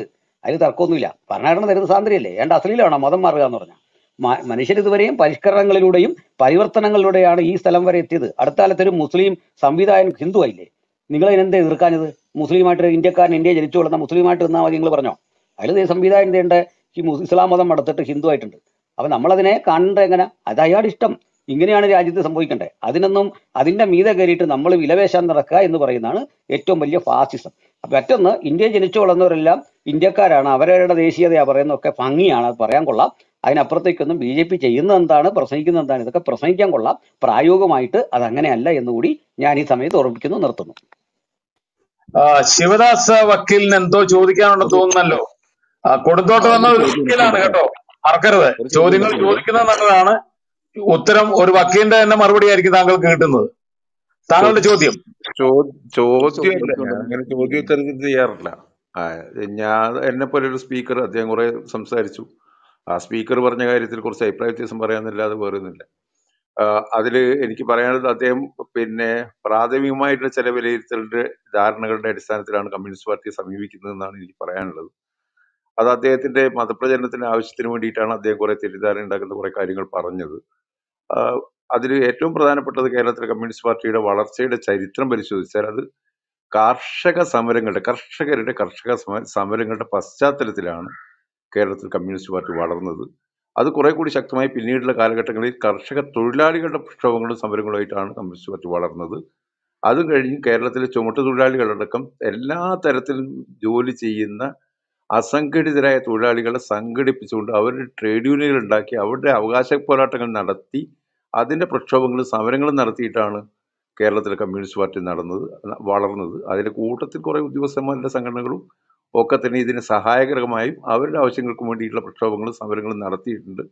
മനുഷ്യർ എവിടെയാണോ വേദനയും കഷ്ടപ്പാടും അനുഭവിക്കുന്നത് അവിടെയൊക്കെ തന്നെയും അവരെ സംഘടിപ്പിച്ചുകൊണ്ട് നടത്തിയുള്ള പ്രക്ഷോഭങ്ങൾ അവർക്ക് മാനസികമായി പകർന്നു നൽകിയ കരുത്ത് അവരുടെ അവകാശങ്ങൾ പിടിച്ചു വാങ്ങൽ കേരളത്തിന്റെ പൊതു ഖജനാവിൽ നിന്ന് ഈ വിഭാഗങ്ങൾക്ക് അർഹമായ വിഹിതം നേടിയെടുക്കൽ. ഈ കാര്യങ്ങളിൽ കമ്മ്യൂണിസ്റ്റ് പാർട്ടി ഉണ്ടാക്കിയിട്ടുള്ള വിജയമാണ് നേട്ടമാണ് ജനങ്ങൾക്കിടയിൽ അതിന് ലഭിച്ച അംഗീകാരമാണ് ഈ രീതിയിൽ ഈ പ്രസ്ഥാനം ഇന്നത്തെ അവസ്ഥയിലെത്തി നിൽക്കുന്നത്. നാളെ പ്രസ്ഥാനം തകരുമെന്നുള്ള നിങ്ങളുടെ മോഹങ്ങൾക്കൊക്കെ ഞാനൊരു എന്താ പറയുന്നത്? അത് ഒരു കുറെ ദിവാസ്വപ്നങ്ങൾ എന്ന് മാത്രമാണ് ഞാൻ പറയുന്നത്. പിന്നെ കമ്മ്യൂണിസ്റ്റ് പാർട്ടി ഈ എസ് ഡി പി ഐന്റെ ബ്രാഞ്ച് കമ്മിറ്റി എന്നൊക്കെ പറഞ്ഞു കഴിഞ്ഞാൽ ഞാൻ അതിനെ അവഹേളിച്ച് അങ്ങ് തള്ളുകയാണ്. അവഹേളിച്ച് തള്ളുകയാണ് ഞാൻ. കാരണം അതിന് വൺ ടു വൺ മറുപടി പറഞ്ഞിട്ട് ഈ ക്ലബ്ബ് അലോസരാക്കാൻ ഞാൻ ഉദ്ദേശിക്കുന്നില്ല. അദ്ദേഹത്തിന് രാവിലെ എന്താ ഈ ഈ രാവിലെ ഏഴ് മണിക്ക് മുഹമ്മദിന്റെ പത്ത് നേട്ടങ്ങൾ പറയാൻ പറ്റുമോ ഉച്ചയ്ക്ക് എട്ട് നേട്ടങ്ങൾ പറയാൻ പറ്റുമോ വൈകുന്നേരം ആകുമ്പോൾ അഞ്ച് നേട്ടങ്ങൾ പറയാൻ പറ്റുമോ വൈകു ഇനി രാത്രിയാകുമ്പോൾ മൂന്ന് നേട്ടങ്ങൾ പറയാൻ പറ്റുമോ എന്ന് പറഞ്ഞിട്ട് ഒരു സമുദായത്തിനെ വെല്ലുവിളിച്ച് നടക്കണം എന്നുള്ള ഒരു ആഗ്രഹക്കാരനാണ് അദ്ദേഹം അത് പറ്റുന്ന സ്ഥലത്തൊക്കെ പല രീതിയിൽ അവതരിപ്പിക്കും. ഞാൻ അതിനെ ഈ ക്ലബിൽ വെച്ച് ഏറ്റുമുട്ടി അദ്ദേഹത്തിനെ പരാജയപ്പെടുത്താനോ അദ്ദേഹത്തിന് ഒരു ബുദ്ധി വികാസം ഉണ്ടാക്കിക്കാനോ സാധിക്കും എന്ന് എനിക്ക് തോന്നുന്നില്ല. അതുകൊണ്ട് ഞാൻ അതങ്ങ് വിട്ടേക്കാണ്. എന്താണ് സാർ? ശിവദാസ വക്കീലിന് ഒരു മറുപടി. ആ ശിവദാസ ശിവദാസം ശിവദാസൻ വക്കീൽ ശിവദാസൻ വക്കീൽ ഇത്രയും മര്യാദയ്ക്ക് സംസാരിക്കാൻ അറിയാവുന്ന കഴിഞ്ഞത് വലിയ സന്തോഷം. സാധാരണ കോലായിലൊക്കെ വന്ന ഇതല്ലായിരുന്നല്ലോ ഭയങ്കര ഫോമിലായിരുന്നല്ലോ. എന്നെ കൊടി കൊടിത്തീട്ടം എന്ന് വിളിച്ച ആളാണ്. അതിന്റെ കാരണം ഈ തോട്ടം തൊഴിലാളികളോട് ഇദ്ദേഹത്തിന് അറപ്പാണ്. കാരണം അത് പണിയെടുത്തും ട്രാപ്പിംഗ് ചെയ്തൊക്കെ ഇനി ജീവിച്ചുവരാം ഞങ്ങൾ. ഈ തോട്ടം എന്നുള്ള പേര് ഞങ്ങളുടെ നാട്ടിൽ എല്ലാവർക്കും ഉണ്ട്. മുസ്ലിമിനും ക്രിസ്ത്യാനിക്കൊക്കെ ഉണ്ട്. അത്തരത്തിൽ അധ്വാനിക്കുന്നവരോട് ഒരു വെറുപ്പ് തോന്നാനുള്ള കാരണം ഇവരൊക്കെ പ്രോത്സാഹിപ്പിച്ചുകൊണ്ടിരിക്കുന്നത് ഈ എംപ്ലോയീസിനെയാണ് ചീഫ് സെക്രട്ടറിയാണ് ഇവരുടെ തൊഴിലാളി. അത് മനസ്സിലായില്ലേ? ശിവശങ്കരനാണ് ഇവരുടെ ഇവരുടെ ജീവിതത്തിലെ തൊഴിലാളി. എന്നെപ്പോലുള്ളവനെ തൊഴിലാളിയായിട്ടും എന്റെ അപ്പനെ തൊഴിലാളിയായിട്ടും കാണാൻ പറ്റില്ല. പാർട്ടി ലെവി അടച്ചും കഷ്ടപ്പെട്ടും ചെങ്കൊടി തുന്നിയും തെരുവിലൂടെ ഈങ്കില വിളിച്ച് കിടക്കുന്നവനെ തൊഴിലാളിയായിട്ട് ഇവർ കാണുന്ന ഒരു ബോധം വരുമ്പോഴേ ഇവർക്ക് എന്നെ ഈ വിളി മാറ്റാനായിട്ട് സാധിക്കത്തുള്ളൂ. അത് ശിവദാസൻ വക്കീലിനെ പോലെ ഒരാൾക്ക് ഉണ്ടാകുമെന്നുള്ളത് എനിക്ക് സ്വപ്നം പോലും കാണാൻ പറ്റില്ല. അതിന്റെ കാരണം ലവി ഭക്ഷിച്ച് ജീവിച്ചവനും ലവി കൊടുത്ത് ജീവിച്ചവനും തമ്മിലുള്ള വ്യത്യാസമുണ്ട്.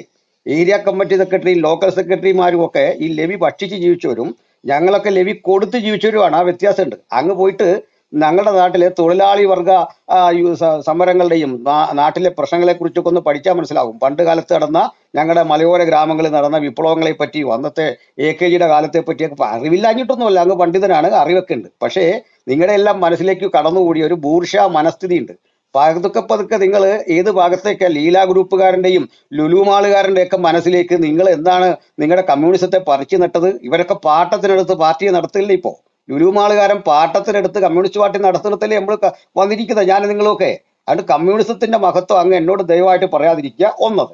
രണ്ടാമത്തെ കാര്യം ഞാൻ എപ്പോഴാ പറഞ്ഞ കമ്മ്യൂണിസം ഇവിടെ തരുമെന്ന് കേരളത്തിൽ പിടിച്ചിരിക്കും തന്നെയാ പറഞ്ഞത് കാരണം അതിനുള്ള സംവിധാനം വേറെയുണ്ട്. ആശയപരമല്ല. അത് നിങ്ങൾക്ക് അതിനുള്ള സെറ്റപ്പ് ഉണ്ട്. ലുലു മാളുകാരൻ വരെ സഖാവായിരിക്കുന്ന കാലത്ത് അദ്ദേഹം എന്നാ ഷീറ്റ് കമ്മിറ്റിയിലേക്ക് ഇനി പ്രൊമോഷൻ കൊടുക്കുന്നത്? പി ബിയിലൊക്കെ വരികയല്ലേ? താമസിക്കാതെ പി ബിയിലേക്ക് വരുമല്ലോ ലുലു മാളുകാരൻ അപ്പൊ പുള്ളിയൊക്കെ പി ബിയെ എ നയിക്കുന്ന കാലത്ത് കേരളത്തിൽ നിങ്ങൾ പൊട്ടുമെന്ന് പറഞ്ഞു കഴിഞ്ഞാൽ അതിൽ പരം വേറെ കാര്യമുണ്ടോ? അതാ ദിവാസ്വപ്നം അങ്ങനെ പറഞ്ഞു കഴിഞ്ഞാൽ ലീല ഗ്രൂപ്പുകാരനും ലുലു മാളുകാരനും ഒക്കെ ചേർന്ന് പി ബിയെ നയിക്കുന്ന ഒരു കാലം. പിന്നെ മറ്റൊന്ന് നിങ്ങൾ പറഞ്ഞു താഴെ തട്ട് മുതൽ നിങ്ങളെ ഏതാണ്ടൊക്കെ സംഘടിപ്പിച്ച് ഇവിടെ വിജയിച്ചു. നിങ്ങൾ പറ്റിച്ചാണ് ഇതുവരെ പാർട്ടിയെ വളർത്തിയത്. നമ്മൾ ഒയ്യും വയലെല്ലാം നമ്മുടേതാകുമെന്ന് പറഞ്ഞിട്ട് പാവങ്ങളെല്ലാം കൂടെ ഇറക്കിയിട്ട് എന്ത് കൊടുത്തു നിങ്ങൾ പത്ത് സെന്റ്.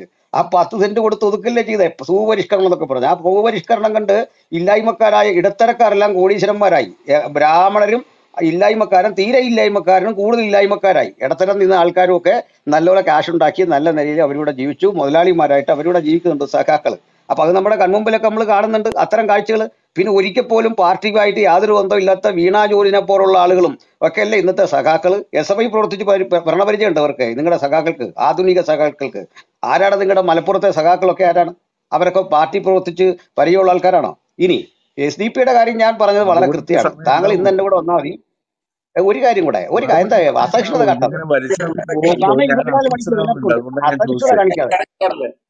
താങ്കൾക്ക് സമയം അതായത് എസ് ഡി പിയുടെ കാര്യം ഞാൻ പറഞ്ഞ വളരെ കൃത്യമാണ് നിങ്ങൾ ഇന്ന് വന്നു കഴിഞ്ഞാൽ ഇവിടെ ചുങ്കപ്പാറയ്ക്കടുത്ത് കോട്ടാങ്കൽ എന്നൊരു സ്ഥലമുണ്ട്. ആ കോട്ടാങ്കൽ ഭരിക്കുന്നത് S D P C P M സഖ്യാണ്.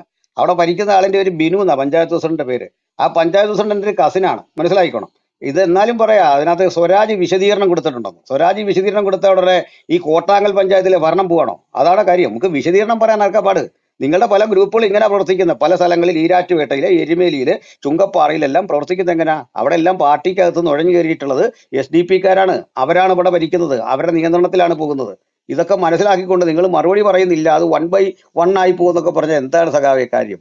സഖാവ് ജീവിച്ചിരിക്കുന്ന ഈ ഈ കാലഘട്ടത്തിൽ തന്നെ സഖാവിന്റെ ജീവിച്ചിരിക്കുന്ന കാലഘട്ടത്തിൽ എന്നെപ്പോലുള്ളവർക്കും ജീവിച്ചിരിക്കാൻ പറ്റില്ലോ എന്നുള്ളതാണ് എനിക്ക് ജീവിതത്തിൽ ഒരു ചാരിതാർത്ഥ്യം. പിന്നെ നേരം വെളുക്കും പോലെ ഞങ്ങൾ ഇങ്ങനെ പറയല്ല. സഖാവൊക്കെ കൂടി നിൽക്കുന്നതിപ്പോ സംസാരിക്കുമ്പോൾ നിങ്ങൾ കൂടുതൽ ഒരു പക്ഷത്തേക്ക് ചായുന്നു. നിങ്ങൾ ഞങ്ങൾ അനുഭവിക്കുന്ന വ്യഥകൾ അനിയ അറിയുന്നില്ല. ആശയപരമായിട്ടൊരു ചർച്ച വരുന്ന ഇടത്ത് ഇത് ചോദിക്കും. മാനവരിൽ മഹോന്നതനാണ് ഒരാളെന്ന് പറഞ്ഞ് ഞങ്ങളുടെ വരുമ്പോൾ ആ മഹാനെ അറിയണ്ടേ? മാർസിനെ പറ്റി നിങ്ങൾ പറഞ്ഞാൽ ഞങ്ങൾ ചോദിക്കും. മാർസിന്റെ പത്ത് ഗുണം പറയാം അപ്പൊ ആ പത്ത് ഗുണം അങ്ങ് പറഞ്ഞാൽ മതി പ്രശ്നം തീർന്നു. അത് പറയാൻ അറിയില്ലെങ്കിൽ മിണ്ടാതിരിക്കുക എന്നുള്ള മാന്യത. മനസ്സിലായില്ലേ? നിങ്ങൾ എന്നിട്ട് എം എം അക്ബർക്കും ഒക്കെ വേണ്ടിയിട്ട് ഇതുപോലെ സംസാരിച്ച് കേൾക്കുന്നില്ലേ? എതിരെ പറഞ്ഞു കേൾക്കുന്നില്ലല്ലോ? നിങ്ങൾ പോപ്പുലർ ഫ്രണ്ട് ഈ രാജ്യം ഭരിക്കണം. അത് അന്ന് എങ്കിൽ മറ്റ് മുസ്ലിം എല്ലാം കൂടെ അതിന്റെ കീഴി വരണമെന്ന് പ്രസംഗിച്ച ഫസൽ ഗഫൂറിനെ എങ്ങനെ വന്നിരുന്ന് ന്യായീകരിച്ചു എന്ന് കണ്ട? നിങ്ങൾ ഒന്നിച്ച് പഠിച്ചതാണെന്നും പുള്ളിയുടെ ഫാദർ ഭയങ്കര പുള്ളിയാണെന്നും അന്ന് മുതലേ എം ഇ എസ് ഭയങ്കര നവോത്ഥാനമാണെന്നും അത്രയും കേട്ടിട്ട് അവിടെ നിന്ന് പച്ചയ്ക്ക് ന്യായീകരിച്ച മനുഷ്യനാണ് ശിവദാസൻ. ഏതായാലും വക്കീലെ ഈ പരിപാടി ഇങ്ങനെയാണ്. നിങ്ങൾ കോടതി കേസ് വാദിക്കുന്നെങ്കിൽ പ്രതി അകത്തു പോവല്ലോ ഭയങ്കര പ്രശ്നമാണല്ലോ. നിങ്ങളെപ്പോലുള്ള ആളുകളുടെ പക്കലേക്ക് പ്രതിയെ കിട്ടിയ രക്ഷയില്ലല്ലോ. നിങ്ങളുടെ കേസ് പിടിക്കുന്ന ആളുകളുടെ ദയനീയാവസ്ഥ കൊടുക്കുക കാരണം കോർട്ടിൽ ഈ തെളിവ് പോരാ ഈ ആക്കം പോരാ. അത്രയും പറഞ്ഞാൽ നിർത്തുന്നു. ഈ കോടിത്തോട്ടത്തിൽ ശിവദാസൻ ഒരു ഒരു ഒരു താങ്കൾ ഒരു പറയാനുള്ളത് കാര്യം കൂടി ഈ ശിവദാസൻ ശിവദാസൻ എന്ന് പറയട്ടെ. ശിവദാസൻ അല്ല, ഇടയ്ക്ക് ശിവദാസന് പറയാനുള്ള അവസരമാണ് അദ്ദേഹം പറഞ്ഞതിന് ശേഷം അടുത്ത ആളിലേക്ക് വരാം. ഞാൻ സാർ വരാം. അങ്ങോട്ട് വരാം. മന്നടി സാർ അങ്ങോട്ട് വരാം. ശിവദാസൻ സാറിന് എന്താ പറയാനുണ്ട്. അദ്ദേഹം പറയട്ടെ. ഈ കൊടിത്തോട്ടം ഈ ക്ലബ് ഹൗസ് തുടങ്ങി കൊടിത്തോട്ടം ക്ലബ് ഹൗസിൽ സംസാരിക്കാൻ തുടങ്ങിയതിന് ശേഷമാണ് സത്യം പറഞ്ഞാൽ കേരളത്തിലെ ഈ ക്ലബ് ഹൗസുമായിട്ട് ബന്ധപ്പെട്ട് നിൽക്കുന്ന പ്രോ ഈ ക്രിസ്ത്യാനികൾ ഏറ്റവും അപമാനിക്കപ്പെട്ടത് എന്നുള്ള കാര്യത്തിൽ ഒരു തർക്കവുമില്ല ഏറ്റവും അപമാനിക്കപ്പെട്ടത് അവരിങ്ങനെ യഥാർത്ഥത്തിൽ കേരള സമൂഹത്തിൽ മറ്റെല്ലാവരുമായി നല്ല രീതിയിൽ സഹകരിച്ച് പെരുന്നാളായാലും ക്രിസ്മസ് ആയാലും ഒക്കെ പരസ്പരം ഒരുമിച്ച് ഉണ്ട് ഒരുമിച്ച് സ്നേഹത്തോടെ ജീവിച്ചിരുന്ന അങ്ങേറ്റം പരസ്പരം ബഹുമാനിച്ചിരുന്ന ഈ സമുദായങ്ങൾ തമ്മിൽ ഇത്രയധികം വൈരാഗ്യം ഉണ്ടാക്കുന്ന രീതിയിൽ മതസ്പർദ്ധ ഉണ്ടാക്കുന്ന രീതിയിൽ അധിക്ഷേപം ഉണ്ടാക്കുന്ന രീതിയിൽ അവമതിപ്പ് ഉണ്ടാക്കുന്ന രീതിയിൽ ഒരു സമുദായത്തിന്റെ പേര് പറഞ്ഞ് ലോഹക്കൂപ്പായ ഒട്ട് ഇദ്ദേഹം ഇറങ്ങിയതിന് ശേഷമാണ് ഈ ക്ലബ് ഹൗസിലെങ്കിലും പ്രിയപ്പെട്ട നിരവധി ക്രിസ്ത്യാനി സുഹൃത്തുക്കൾ തെറ്റിദ്ധരിക്കപ്പെട്ടതും അകറ്റി നിർത്തപ്പെട്ടതും എന്ന് പറയാൻ എനിക്ക് വളരെയധികം വിഷമമുണ്ട്. ആ ആ ഒരു വിഷം ചീറ്റുന്ന നാവിൽ നിന്ന് ഈ ക്ലബ് ഹൗസിൽ കഴിഞ്ഞ് ഇത്രയും കാലമായിട്ട് എന്തൊക്കെ വിഷം ചീറ്റിയിട്ടുണ്ട് എന്തൊക്കെ വർഗീയത ചീറ്റിയിട്ടുണ്ട് എത്രയൊക്കെ മാറ്റി നിർത്തൽ നടത്തിയിട്ടുണ്ട് എത്രയൊക്കെ അധിക്ഷേപങ്ങൾ നടത്തിയിട്ടുണ്ട് എന്ന് എണ്ണിയാൽ ഒടുങ്ങൂല. എണ്ണി എണ്ണി എനിക്ക് ഇവിടെ പറയാൻ വേണ്ടി കഴിയും. പലതും ഞാൻ ഈ ഞാൻ കയറി കേൾക്കാറില്ല. പിന്നെ ഈ റീപ്ലേ നോക്കിയിട്ടാണ് ഞാൻ കേൾക്കാറ്. എന്തൊക്കെ തരത്തിലുള്ള അധിക്ഷേപങ്ങൾ തൂപ്പിയിട്ട് കൊടുക്കുന്നവനാണ്. മറ്റേ ഈ ബ്രൗൺ ഷുഗർ അടിപ്പിച്ചിട്ട് മതം മാറ്റുന്നവനാണ്. ഈ എന്തൊക്കെയാ പറഞ്ഞത് ഈ ക്ലബ് ഹൗസിൽ ആ ഒരു മലിനമായ പ്രചരണ പാരമ്പര്യമുള്ള അദ്ദേഹത്തിനോട് ഏറ്റുമുട്ടാൻ എനിക്ക് ത്രാണിയില്ല. കാരണം എനിക്ക് ആ നിലവാരത്തിലേക്ക് പോകാൻ വേണ്ടി കഴിയില്ല. ഏ? അതുകൊണ്ട് തന്നെ ഞാൻ അത്തരം കാര്യങ്ങളൊക്കെ അങ്ങ് ഉപേക്ഷിക്കുകയാണ്. കാരണം വൺ ടു വൺ ആയിട്ട് പോയിട്ട് ഈ ഈ ഒരു പന്നീനെ പറ്റിയിട്ടൊരു കഥയുണ്ട്. ഈ ഈ ചെളിയിൽ ഇറങ്ങി പന്നീന്റെ അടുത്തേക്ക് പോരുതെന്ന് പറയും. കാരണം അത് ചെളി തെറിപ്പിച്ചുകൊണ്ടേയിരിക്കും ആ ചെളി എന്റെ അദ്ദേഹത്തിന് പറ്റി ഇപ്പൊ തന്നെ പറ്റി എനിക്ക് കേസ് നടത്താൻ അറിയില്ല എന്ന് പറഞ്ഞു. അപ്പോൾ അത്തരത്തിലുള്ള ഒരാളോട് വൺ ടു വൺ ഞാനില്ല. അതുകൊണ്ട് ഒന്ന് ഒന്നുകൊണ്ടല്ല മുപ്പത്താറ് കാര്യങ്ങൾ അങ്ങ് പ്രസ്താവിച്ചിട്ട് മിണ്ടാതിരിക്കുകയാണ്. ഞാൻ ഈ മുപ്പത്താറിന് ഓരോന്നിനും ഓരോന്നിനും എണ്ണി എണ്ണി മറുപടി പറഞ്ഞാൽ നിങ്ങൾ ഇതൊക്കെ വെറുതെ കേട്ട് നിൽക്ക നിൽക്കുന്ന ആൾക്കാരും അടുത്ത സ്പീക്കർ സംസാരിക്കുന്ന ആൾക്കാരും ഒക്കെ ആയിട്ട് വരും. പകരം എന്തെങ്കിലും ഒരു ദിവസം സൗ എനിക്കൊരു അഭ്യർത്ഥനയുള്ളത് മിസ്റ്റർ കൊടിത്തോട്ടം താങ്കൾ ഒരു ദിവസം ഞാൻ മോഡറേറ്റർ ആയിട്ടിരിക്കുന്ന റൂമിൽ വരിക നിങ്ങൾ ക്ഷണിച്ചുകൊണ്ട് ഞാൻ ക്ലബ് ഇടാം അങ്ങോട്ട് വരിക. താങ്കൾ ഈ പറഞ്ഞ കാര്യങ്ങൾക്കൊക്കെ വൺ ടു വൺ ആയിട്ടോ വൺ ടു ത്രീ ആയിട്ടോ ഒക്കെ മറുപടി പറയാനുള്ള സൗകര്യം ഞാൻ നമുക്ക് ഉണ്ടാക്കാം അത് അവിടെ പറയാം. അത്ര നല്ലത്. കൊടുത്തോട്ടെ സാർ. മാസ്റ്ററെ ഒന്ന് ഒരു സന്തോഷം. ശരി, ഞാൻ എനിക്ക് ശിവദാസൻ സഖാവിനുള്ള സ്നേഹവും ബഹുമാനവും വർദ്ധിച്ചുള്ളൂ കാരണം ഇത് ഇത്ര ശാന്തമായിട്ട് സംസാരിക്കുന്നത് എത്ര ശാന്തം? കോലായിൽ വരുമ്പോഴാണ് സാറിന്റെ നിങ്ങൾക്കൊരു മേൽക്കയ്യോ എനിക്കൊരു മേൽക്കയ്യോ ഞാൻ നിങ്ങൾ പറഞ്ഞപ്പോ ഇടക്കേറിയില്ല നിർത്തൂ വേണ്ട നിർത്തൂ ഞാനത് അല്ല ഞാനത് അല്ല. ഒഴിവാക്കുകയാണ്. ഒഴിവാക്കുകയാണെന്ന് പറഞ്ഞു കഴിഞ്ഞാൽ നിങ്ങൾ അല്ലല്ല അത് നിങ്ങൾ ഒഴിവാക്കുന്നത് ഞാൻ ഞാൻ പറയുന്നത് നിങ്ങൾ ഈ കോലായിൽ കിടന്ന് കാണിക്കുന്നത് ശിവന്റെ വിശ്വരൂപമാണ്. അഘോരിയായ ശിവൻ എങ്ങനെയാണോ പ്രവർത്തിക്കുന്നത്? അതേ വിധത്തിൽ താണ്ഡവമാടുകയായിരുന്നു കോലായി കിടന്ന്. മനസ്സിലായില്ലേ? ഇപ്പൊ നിങ്ങൾ മുഖചിത്രം മുഖചിത്രമൊക്കെ മാറ്റി ഡി പി ഒക്കെ മാറ്റി ഇപ്പോൾ ഇഷ്ടമാണ് നിങ്ങൾ അധിക്ഷേപിക്കുന്നവനാണ് ഞാൻ അധിക്ഷേപിക്കും. പക്ഷെ അത് ഇവിടെ പറയുന്നത്. അല്ലാണ്ട് അല്ലല്ല അല്ല ശിവ അല്ല ശിക്ഷ വക്കീലെ വക്കീലെ കൂൾ ഡൗൺ അത്രയൊക്കെ പോവാതെ. നമ്മുടെ പ്രായത്തിന്റെ ഒറ്റ സെക്കൻഡ് പാസ്റ്റർ പാസ്റ്റർ ഈ ശിവദാസൻ വക്കീൽ പറഞ്ഞത് പാസ്റ്റർ അധിക്ഷേപിക്കപ്പെടേണ്ടവനാണെന്നാണോ ശിവദാസൻ പറയുന്നത്? പാസ്റ്റർ അങ്ങനെയാണെങ്കിൽ ഞങ്ങളുടെ സമുദായത്തെ മുഴുവൻ അധിക്ഷേപിക്കുന്ന പോലെയാണ് ശിവദാസ അടുത്ത പ്രാവശ്യം വോട്ട് തന്റെ വീട്ടിലേക്ക് കയറരുത് കേട്ടോ ഉളുപ്പില്ലാതെ അല്ലല്ല അല്ല പാസ്റ്ററെ പാസ്റ്റർ ആണ് അങ്ങ് ഒരു സഭയെ പ്രതിനിധീകരിക്കുന്നു എന്നുള്ള വ്യക്തമായ വ്യക്തമായ അല്ല വ്യക്തമായ ധാരണയുള്ള ഇദ്ദേഹം നിങ്ങൾ അധിക്ഷേപിക്കപ്പെടേണ്ടവനാണ് എന്ന് പറഞ്ഞാൽ ഇദ്ദേഹം പേറുന്ന മാനസികാവസ്ഥ എന്താണെന്ന് മനസ്സിലാക്കണം. അങ്ങനെ ഒരിക്കലും പറയാൻ പാടില്ല. അധിക്ഷേപിക്കപ്പെടേണ്ടവനാണെന്ന് പറഞ്ഞിട്ടുണ്ടെങ്കിൽ നാളെ നിങ്ങൾ ഇയാൾ കൊല്ലപ്പെടേണ്ടവനാണ് എന്ന് പറയാൻ പറയില്ല എന്നെങ്ങനെ ഉറപ്പുവരുത്താൻ കഴിയും നമുക്ക്? അത് ശരിയായ രീതിയല്ല. അങ്ങനെ തന്നെയല്ലേ അത് ഞാൻ തിരിച്ചു പറയണ്ടേ? അല്ലല്ല നിങ് അല്ല ഈ കാര്യത്തിൽ ശിവദാസൻ വക്കീലിനെ രക്ഷിക്കാൻ വേണ്ടി വേണ്ടിയിട്ട് പിന്നെ വ്യക്തിപരമായിട്ടുള്ള മാസ്റ്റർ നേരത്തെ ഞാൻ ഇടപെടാൻ കാരണം എന്ന് വെച്ചാൽ ഒരു മനടി സാറിന് എന്തോ പറയാനുണ്ട് പറയട്ടെ? ഞാനൊരു ഒരു മനോടി ആ സാർ ഒരു മറുപടി പറഞ്ഞിട്ട് ഞാനൊരു മറുപടി ബഹുമാനപ്പെട്ട ശിവദാസൻ സാറിന്റെ വക്കീലിനോട് പറഞ്ഞിട്ട് നിർത്തിയേക്കാം. ഇത് അദ്ദേഹത്തിനെ ഞാൻ വ്യക്തിപരമായി ആക്ഷേപിച്ചല്ല അദ്ദേഹത്തിന്റെ പ്രത്യയശാസ്ത്രത്തിന്റെ ഇന്നത്തെ പ്രതിസന്ധിയെ ഞാൻ വിമർശിച്ചിട്ടുള്ളൂ. ഒരു കാര്യം. പിന്നെ എന്നെ അധിക്ഷേപിച്ച ഞാൻ ഈ രൂപത്തിൽ സംസാരിക്കുന്ന ആളല്ല. എനിക്ക് നല്ല പാർട്ടിനെ നിക്ഷേപിക്കില്ല കേസ് ഏൽപ്പിക്കേണ്ടെന്ന് പറഞ്ഞതും കേസ് ഏൽപ്പിച്ച പ്രതി ആത്തു എന്ന് പറയുന്ന പറയുന്നത് ഇടയ്ക്ക് പാർട്ടിനെ ഇടയ്ക്ക് സാറേ ശിവദാസൻ ഇടയ്ക്ക് ഞാൻ അങ്ങോട്ട് വരാം. അതെ താങ്കളിലേക്ക് വരാം. വക്കീലെ താങ്കൾ അത് ഞാൻ പറഞ്ഞ ഇദ്ദേഹത്തിന് മനസ്സിലായില്ല. ഞാൻ പറഞ്ഞൊരു ട്രോളാണ്. എന്ന് വെച്ചാൽ ഇദ്ദേഹം ഈ വസ്തുത അല്ലാതെ പറഞ്ഞാൽ ഇദ്ദേഹത്തെ കേസ് ഏൽപ്പിക്കുന്നതിന്റെ അവസ്ഥ എന്താണെന്ന് വെച്ചാൽ കേസ് ഏൽപ്പിക്കുന്നതാണോ? ഞാൻ പറഞ്ഞ ഇദ്ദേഹത്തെ കേസ് ഏൽപ്പിക്കായിരിക്കും പാർട്ടി വക്കീലല്ലേ? പാർട്ടി വക്കീലന്മാര് പിടിക്കുന്ന കേസിന്റെ ട്രോൾ രീതി ചെയ്യാന്ന് വിചാരിച്ചാൽ മതി ആ, അത് അത്രേ ഉള്ളൂ. സാറ് പറയുന്ന എല്ലാം ട്രോളാണെന്ന് ഞാൻ വിശ്വസിക്കുന്നത് മൊത്തം ട്രോളാണെന്ന് ഞാൻ വിശ്വസിക്കുന്നത് കയറില്ല അത് മോശം. ഇല്ല കയറിയാൽ നിങ്ങൾ സംസാരിക്കേണ്ടില്ല ഇടയ്ക്ക് കയറിയാ ഞാനും ഇടയ്ക്ക് കയറും. അല്ലെ ശിവാസൻ പരീക്ഷിച്ച് നോക്കൂ അങ്ങനെ നോക്കിയത് ഇടയ്ക്ക് അല്ല അല്ല അല്ലെ ശിവദാസനും പറയേണ്ടി വരികയല്ല. അത് കേൾക്കേ അങ്ങനെ അങ്ങനെ മിടുക്കം കളിക്കാതെ. ഇതൊക്കെ തിന്നമെടുക്ക് തിണ്ണമെടുക്ക് കോലായിൽ മതി. കോലായിൽ നിന്ന് തിണ്ണമെടുക്ക് കാണിക്കാതെ ഇതൊക്കെ ഈ ശിവദാസന് സംസാരിക്കേണ്ടി വരികയല്ല. ശിവദാസന് സംസാരിക്കേണ്ടി വരികയല്ല. ശിവദാസൻ തിണ്ണമെടുക്ക് കോലായിൽ എടുത്താൽ മതി. നിക്ക് തിണ്ണമെടുക്ക് കോലായിൽ എടുത്താൽ മതി. അവിടെ സൗകര്യമുണ്ട്. മനസ്സിലായില്ലേ? നമുക്ക് അങ്ങോട്ടും ഇങ്ങോട്ടും പരസ്പരം കേൾക്കാനുള്ള സഹിഷ്ണുതയില്ലേ സംസാരിച്ചിട്ട് കാര്യമില്ല മോഡറേറ്റർ പറയൂ ഞാൻ സംസാരിക്കുമ്പോൾ സംസാരിക്കാം പക്ഷെ ഇടയ്ക്ക് കയറാൻ അദ്ദേഹത്തിന് സമ്മതിക്കരുത്. അല്ല എനിക്ക് എനിക്ക് തന്ന സമയത്ത് താങ്കളാണ് കയറിയത്. മിസ്റ്റർ വക്കീലാണ് ഇടയ്ക്ക് കയറിയത്. എനിക്ക് അവസരം തരുമ്പോഴേ ഞാൻ മിണ്ടാറുള്ളൂ. ഇടയ്ക്ക് കയറില്ലേ പ്ലീസ് അത് മോഡറേറ്റർ പറ ആരാ സംസാരിക്കണ്ടേ? പ്ലീസ് ഞാൻ ഒരു മിനിറ്റ് എടുക്കുള്ളൂ. ഒറ്റ മിനിറ്റ് എടുക്കുള്ളൂ ഒറ്റ മിനിറ്റ് എടുക്കുള്ളൂ. അതായത് ഞാൻ ഇദ്ദേഹത്തെ വ്യക്തിപരമായി പറഞ്ഞല്ല ഒരു കാര്യം. പിന്നെ ഇയാൾ നാളുകൾക്കപ്പുറത്ത് കോലായിരുന്നോണ്ട് കൊടി തീട്ടമെന്ന് വിളിച്ചിട്ട് തിരുത്താൻ നിർമ്മിച്ചു. അപ്പൊ അതേ ഞാൻ പറഞ്ഞുള്ളൂ. ഞങ്ങൾ തോട്ടം തൊഴിലാളികളാ ജന്മന. ഞങ്ങളുടെ പണിയല്ലാതെ തന്നെയാ. ഒട്ടുപാൽ പറിച്ചും ടാപ്പിംഗ് നടത്തിയും കഷ്ടപ്പെട്ടും ഒക്കെ തന്നെ ജീവിക്കുന്നവരാണ്. പാട്ടിലേവി പിരിച്ച് തിന്നുന്ന ആൾക്കാരല്ല ഞങ്ങൾ അത് ആദ്യം മനസ്സിലാക്കിയോ? പാർട്ടി ലെവി കൊടുത്ത് ശീലം മാത്രമേ നമുക്കുള്ളൂ. പാർട്ടി ലെവി തിന്നവനും കൊടുത്തവനും തമ്മിലുള്ള വ്യത്യാസം നമ്മുടെ രാജ്യത്തൊരു സിസ്റ്റം ഉണ്ട് ഈ മാലിന്യം ഉണ്ടാക്കുന്നവൻ മാന്യനും അത് പെറുക്കി പെറുക്കി കളയുന്നവൻ മോശപ്പെട്ടവനും എന്നൊരു ചിന്തയുണ്ട്. ആ തത്വശാസ്ത്രം വെച്ചാണ് താങ്കൾ അന്ന് എന്നോട് പറഞ്ഞത്. മറക്കണ്ട.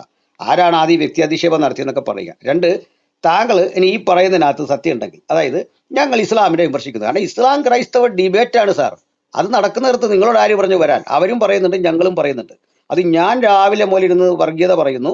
നിങ്ങൾ എന്തിനാ അങ്ങോട്ട് വന്നേ? മതങ്ങൾ തമ്മിലുള്ള ചർച്ചയ്ക്കകത്ത് നിങ്ങൾക്ക് എന്താ റോൾ നിങ്ങളവിടെ കയറി ഇരുന്ന് വെച്ച് ഒരു കൂട്ടരെ മാത്രം സപ്പോർട്ട് ചെയ്തു. നിങ്ങൾ മാന്യനായിരുന്നെങ്കിൽ പോപ്പുലർ ഫ്രണ്ട് ഈ രാജ്യത്ത് പോപ്പുലർ ഫ്രണ്ട് എന്ന് പറയുന്ന ഒരു സംഘടനയുടെ കുടക്കീഴിൽ മറ്റു മുസ്ലിങ്ങൾ അണിനിരക്കണം എന്ന് പറയുന്ന ഡോക്ടർ ഫസൽ ഗഫൂർ പറഞ്ഞത് തെറ്റായി പോയെന്ന് ഒരു വാക്ക് നിങ്ങൾ പറഞ്ഞേനെ. നിങ്ങൾ അന്നേരം പറഞ്ഞത് അങ്ങേര് പറഞ്ഞ് വോയിസ് ഓവർ ചെയ്തു പറഞ്ഞ് കേട്ടവിടെ ഇരിക്കുകയായിരുന്നു അതാ ചെയ്തത് ഒരക്ഷരം വേണ്ടിയില്ല പിന്നെ ഇത്തരം കാര്യത്തിൽ വാസവദത്തയുടെ ചാരിത്ര പ്രസംഗത്തിന് അത് എന്ത് കാര്യം അതിലൊന്നും ഞാൻ ഗൗരവത്തിൽ എടുക്കുന്നില്ല പിന്നെ താങ്കൾ അങ്ങോ മോഡറേറ്റ് ആയിട്ടൊന്ന് വൺ ബൈ വൺ ആയിട്ട് പറയാം അങ്ങനെയല്ല നമുക്ക് ഇരുവർക്കും പറയാനുള്ള സാവകാശമുള്ളിടത്ത് ഞാൻ വരാറുള്ളൂ ഇനിയിപ്പോ നിങ്ങളാണെന്ന് ഇത് അറിഞ്ഞില്ല നിങ്ങളെ കണ്ടുകൊണ്ട് പറഞ്ഞെന്നുള്ളേ ഉള്ളൂ പിന്നെ താങ്കൾ ഇവിടെ വന്ന് അഭിനയിക്കുന്ന ഈ പക്വത ഉള്ള വളരെ നന്നായി അത് കോലായിൽ വരുമ്പോൾ കാണാറില്ല ഗുഡ് ഞാൻ നിർത്തി ഓക്കെ ഞാൻ പറയാം ഞാൻ പറയാം ശിവദാസിന് പറയാനുള്ളത് പറയാം പറയാം ഞാൻ പറയാം ഇടപെടരുത് നിങ്ങളിപ്പോൾ ഈ പാർട്ടി ലെവി പിരിച്ചിട്ട് അത് തിന്ന് ജീവിക്കുന്നവർ എന്ന് പറഞ്ഞാൽ നിങ്ങളൊരു മാന്യമായ മാന്യമായ പ്രതികരണമാണോ കമ്മ്യൂണിസ്റ്റ് പാർട്ടി നേതാക്കന്മാരെ കുറിച്ച് നിങ്ങൾ നടത്തുന്നത്?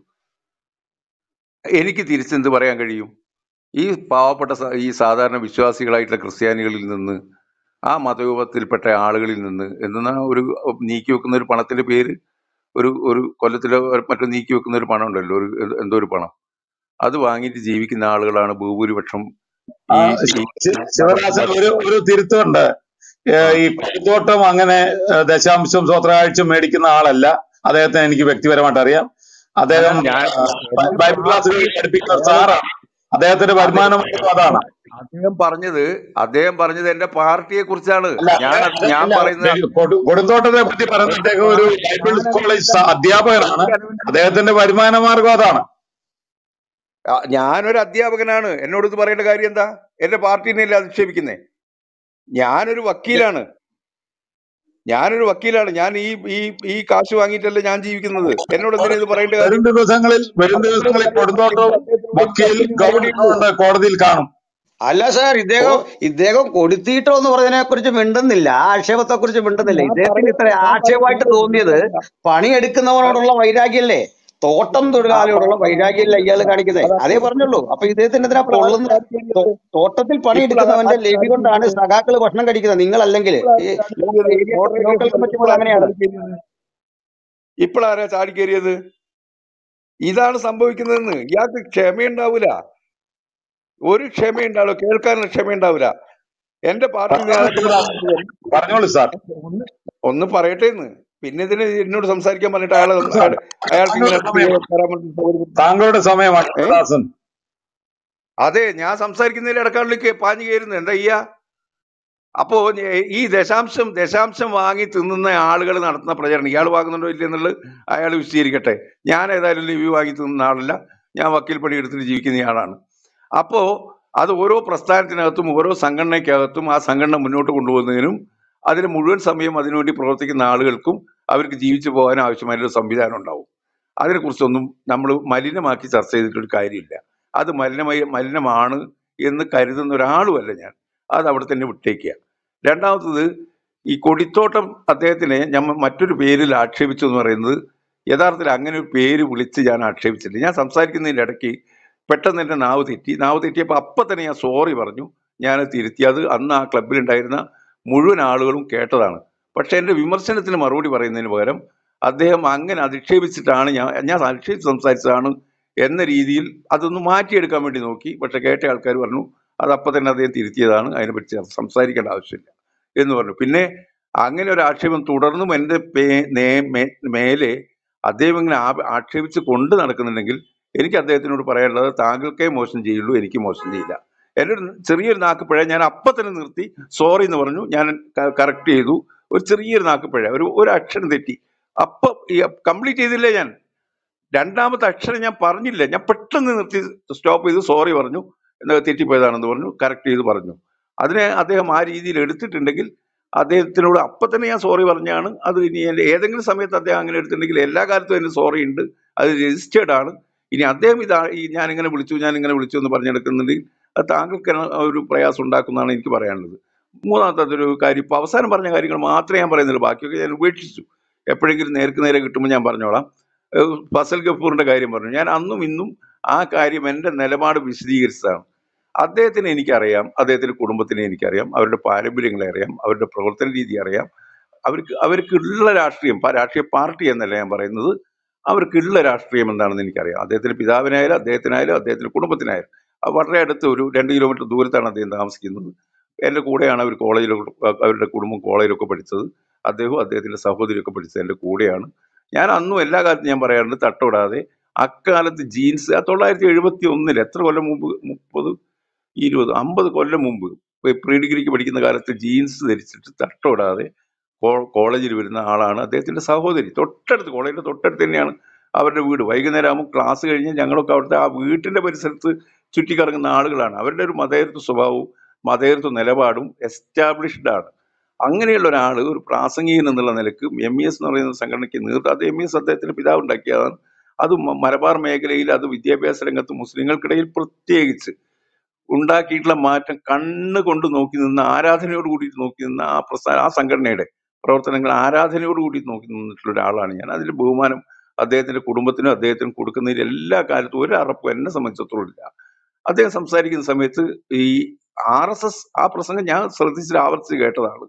ആർ എസ് എസ് ഈ രാജ്യത്ത് വളർന്നു വരുന്ന സാഹചര്യങ്ങൾ വിശദീകരിച്ചുകൊണ്ട് ഈ കാലഘട്ടത്തിൽ മുസ്ലിം നേതൃത്വവും മുസ്ലിങ്ങളും ഐക്യത്തോടു കൂടി നിന്ന് ഇതിനെ നേരിടണം എന്ന രീതിയിൽ അദ്ദേഹം നടത്തിയിട്ടുള്ള ഒരു പ്രസംഗം. ആ പ്രസംഗത്തെ ഇസ്ലാമിക രാഷ്ട്രം സ്ഥാപിക്കണം എന്നാണ് അദ്ദേഹം പ്രസംഗിച്ചത് എന്ന രീതിയിൽ വ്യാഖ്യാനിച്ച് വ്യാഖ്യാനിച്ച് വ്യാഖ്യാനിച്ച് ഉണ്ടാക്കിയെടുക്കാനുള്ള ശ്രമം ആ ശ്രമം നടത്തുന്നത് മതേതര മുഖത്തോടുകൂടി പോലും രംഗത്ത് വരുന്ന മുസ്ലിങ്ങളെ പോലും അങ്ങേയറ്റം വിദ്വേഷത്തോടെയും വർഗീയ കാഴ്ചപ്പാടോടുകൂടി കൂടിയും കാണുന്ന മനസ്സുകളിൽ നിന്ന് മാത്രമേ ഉണ്ടാവുള്ളൂ എന്ന് മാത്രമേ എനിക്ക് അതിനെക്കുറിച്ച് പറയാനുള്ളൂ. അതാണ് എന്റെ നിലപാട്. അതാണ് അത്രയേ ഉള്ളൂ. ആ, അനിൽ കൊടുന്തോട്ടം സാർ ഈ ഫസൽ ഒരു വീഡിയോ താങ്കൾ കണ്ടിട്ടുണ്ടോ? ഉവ്വ് കണ്ടിട്ടുണ്ട്. അത് വളരെ ലാഘവബുദ്ധിയോടെയാണ് പ്രിയ വക്കീൽ പറയുന്നത്. വളരെ ലാഘവബുദ്ധിയോടെ. അതിലൊരു പദം ശ്രദ്ധിക്കണ്ടേ ബാക്കിയൊക്കെ പോട്ടെ. മുസ്ലിങ്ങളിൽ ഐക്യത വരുന്നില്ല എന്താ പ്രശ്നം? രാജ്യത്ത് സംഘപരിവാരങ്ങളെ നേരിടാൻ അങ്ങനെ ഐക്യത വരട്ടെ. പക്ഷെ അവസാനം പറയുന്നൊരു കാര്യമുണ്ട്. പ്രോപ്പർ ലീഡർഷിപ്പ് ഇല്ല. എസ് ഡി പോപ്പുലർ ഫ്രണ്ട് നേതൃത്വം കൊടുക്കണം. ഇതേപ്പറ്റി ഇദ്ദേഹം ഒരക്ഷരം മിണ്ടുന്നില്ലല്ലോ. ഒരക്ഷരം അതേപ്പറ്റി മിണ്ടുന്നില്ല. ഒരക്ഷരം മിണ്ടാതെ എന്നിട്ട് പറയാ ചെറുപ്പത്തിൽ ജീൻസ് ഇട്ട് അതിലേ പോയിട്ടുണ്ട്. അതിലെ ഇതിനൊക്കെയാണ് കാര്യം. ഒരു രാഷ്ട്രീയ ചർച്ച നടക്കുന്നത് ജീൻസ് ഇട്ട് ചെറുപ്പത്തിൽ അതിലേ വന്നു. അവർ തട്ടം ഇട്ടിട്ടില്ല പരിഷ്കരണവാദികളായിരുന്നു. സാർ ജിന്ന മുഹമ്മദ് അലി ജിന്ന വോട്ട കുടിക്കുന്ന ആളും പിന്നെ പിന്നെ പന്നിയിറച്ചി കഴിക്കുന്ന ആളുമായിരുന്നു മനസ്സിലായില്ലേ? മുഹമ്മദ് അലി ജിന്ന. ആ ജിന്നയ്ക്ക് ക്ലീൻ ചിറ്റ് നമ്മുടെ അദ്വാനി വരെ കൊടുത്തിട്ടുണ്ട്. ഭയങ്കര പുള്ളിയാണ്. ഇതിനകത്ത് കാര്യമുണ്ടോ? ഒരിക്കലും കാര്യമൊന്നുമില്ല. ജിന്നയുടെ ആ അങ്ങനെ ഒരു ഭാഗം ശരിയാകുമ്പോഴും ജിന്ന ഉള്ളിൽ നല്ലൊരു വർഗീയവാദി തന്നെ കൊണ്ടുനടന്നിരുന്നു. അല്ലെ പിന്നെ പാകിസ്ഥാൻ ഉണ്ടാവോ അങ്ങനെ കാണാൻ പറ്റുമോ ഇവിടെ എസ് ഡി പി ഐ നേതൃത്വം സോറി പോപ്പുലർ ഫ്രണ്ട് നേതൃത്വം കൊടുക്കണം എന്ന പദമാണ് പ്രശ്നം. നിങ്ങൾ എന്തി അത് കാണാതെ പോകുന്നത്? ആ ഒരു കാര്യം. രണ്ടാമത് ഇദ്ദേഹം പറയുന്ന അന്ന് നാക്കുപിഴയാണ് ക്ഷമ പറഞ്ഞു. ഒരു ക്ഷമയും പുള്ളി പറഞ്ഞില്ല. ഇദ്ദേഹം പറഞ്ഞില്ല. ഒരു സോറിയും പറഞ്ഞില്ല. ഇത് ഞാനല്ല ഉയർത്തിക്കൊണ്ട് വന്നത്. ഞാൻ ഇങ്ങനെയുള്ള കാര്യം ശ്രദ്ധിക്കാറില്ല. കാരണം അതിന്റെ പുറകെ ചർച്ച വഴി മാറിപ്പോവും നമ്മുടെ ശ്രദ്ധ അതായിരുന്നില്ല. അത് പ്രിൻസ് ആണ് അദ്ദേഹം ഇവിടെ വ്യക്തമാക്കിയ സ്ഥിതിക്ക് ആ വിഷയം അവിടെ തീർന്നില്ലേ? തീർന്നു. പ്രശ്നമില്ല. ഈ പറഞ്ഞ നുണ പറയില്ലല്ലോ. അതിനകത്തൊരു ഒരു ഇത് വേണ്ടേ? ഇദ്ദേഹം അവിടെ ക്ഷമയൊന്നും പറഞ്ഞില്ല. ഒരു എക്സ്ക്യൂസും പറഞ്ഞില്ല. അവിടെ ഇരുന്നവരും ഒന്നും വേണ്ടിയില്ല പിന്നെ അവിടെ ഇരുന്നവരെ അറിയാലോ? അവിടെ ഇരുന്നവരുടെ അവസ്ഥ ഇപ്പോഴത്തെ അവസ്ഥ നോക്കിയാൽ മതി. പത്ത് പേരോടെ കയറാനില്ല അതിന്റെ കാരണം ഇത്തരത്തിൽ ചർച്ച ഏകപക്ഷീയമായിട്ട് സുഡാ കമ്മി ഒരു ഒരു വലിയ കോൺഫെഡറേഷൻ അവിടെ നടക്കുന്നത്. ഈ സുഡാപ്പി കം കം കമ്മികൾ ഒരുമിച്ച് ചേർന്നിരുന്നു കൊണ്ട് ഒരു പൊതുവേദിയെ കൈയാക്കി ചെയ്യുന്നതിലെ പ്രശ്നമാണ്. യുവദാസൻ ശിവദാസൻ വികാരം നിയന്ത്രിക്കുക പ്ലീസ് പോകരുത്. അത് അസ്വസ്ഥത ഉണ്ടാക്കും വിഷയങ്ങളിൽ നിന്ന് വിഷയങ്ങളിലേക്ക് പോകരുത് നിങ്ങൾ സംസാരിച്ച് അവസാനിപ്പിക്കാൻ അവസാനിപ്പിക്കുകയാണ് ചെയ്യേണ്ടത്. ക്ലിയർ ആണ്. ഇല്ല ഇല്ലില്ല ഞാൻ അത് കുഴപ്പമില്ല. സാർ ഇപ്പോ ഇടയ്ക്കൊന്ന് കയറിന് കുഴപ്പമില്ല. ഞാൻ അന്ന് ഇടയ്ക്ക് കയറിയില്ല അപ്പൊ അത് ബാലൻസ്ഡ് ആയി. ഇനിയും കയറില്ല ഞാനും ഒന്ന് കയറി താങ്കൾ ഒന്ന് കയറി അങ്ങോട്ട് പോകരുത്. ഇനി താങ്കൾ ഈ ചർച്ച എന്നെ പഠിപ്പിക്കാൻ വന്നാൽ അതെനിക്ക് അനുസരിക്കേണ്ട ബാധ്യത ഒന്നുമില്ല അങ്ങനെയുള്ള കാര്യമൊന്നുമില്ല.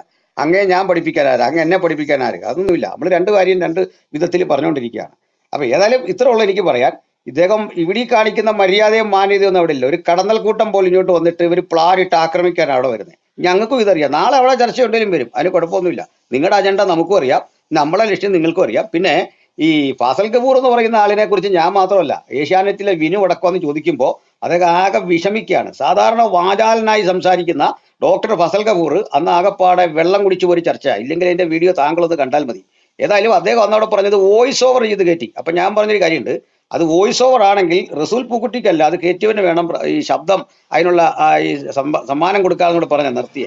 അന്ന് ഇവരെന്താ ചെയ്യുന്നറിയട്ടെ? ഏകപക്ഷീയമായി വന്ന് ഫസൽ കപൂറിന് വേണ്ടി സംസാരിക്കുക. ഇദ്ദേഹം ഒരു വാക്ക് പറയാ പോപ്പുലർ ഫ്രണ്ട് എന്നുള്ളൊരു പദം അദ്ദേഹം ഉപയോഗിച്ചിരുന്നില്ലെങ്കിൽ ബാക്കി കണ്ടന്റ് ഓക്കെ എന്നാണ് ഇവർ പറഞ്ഞിരുന്നെങ്കിൽ അതിനകത്തൊരു ശരിയുണ്ട്.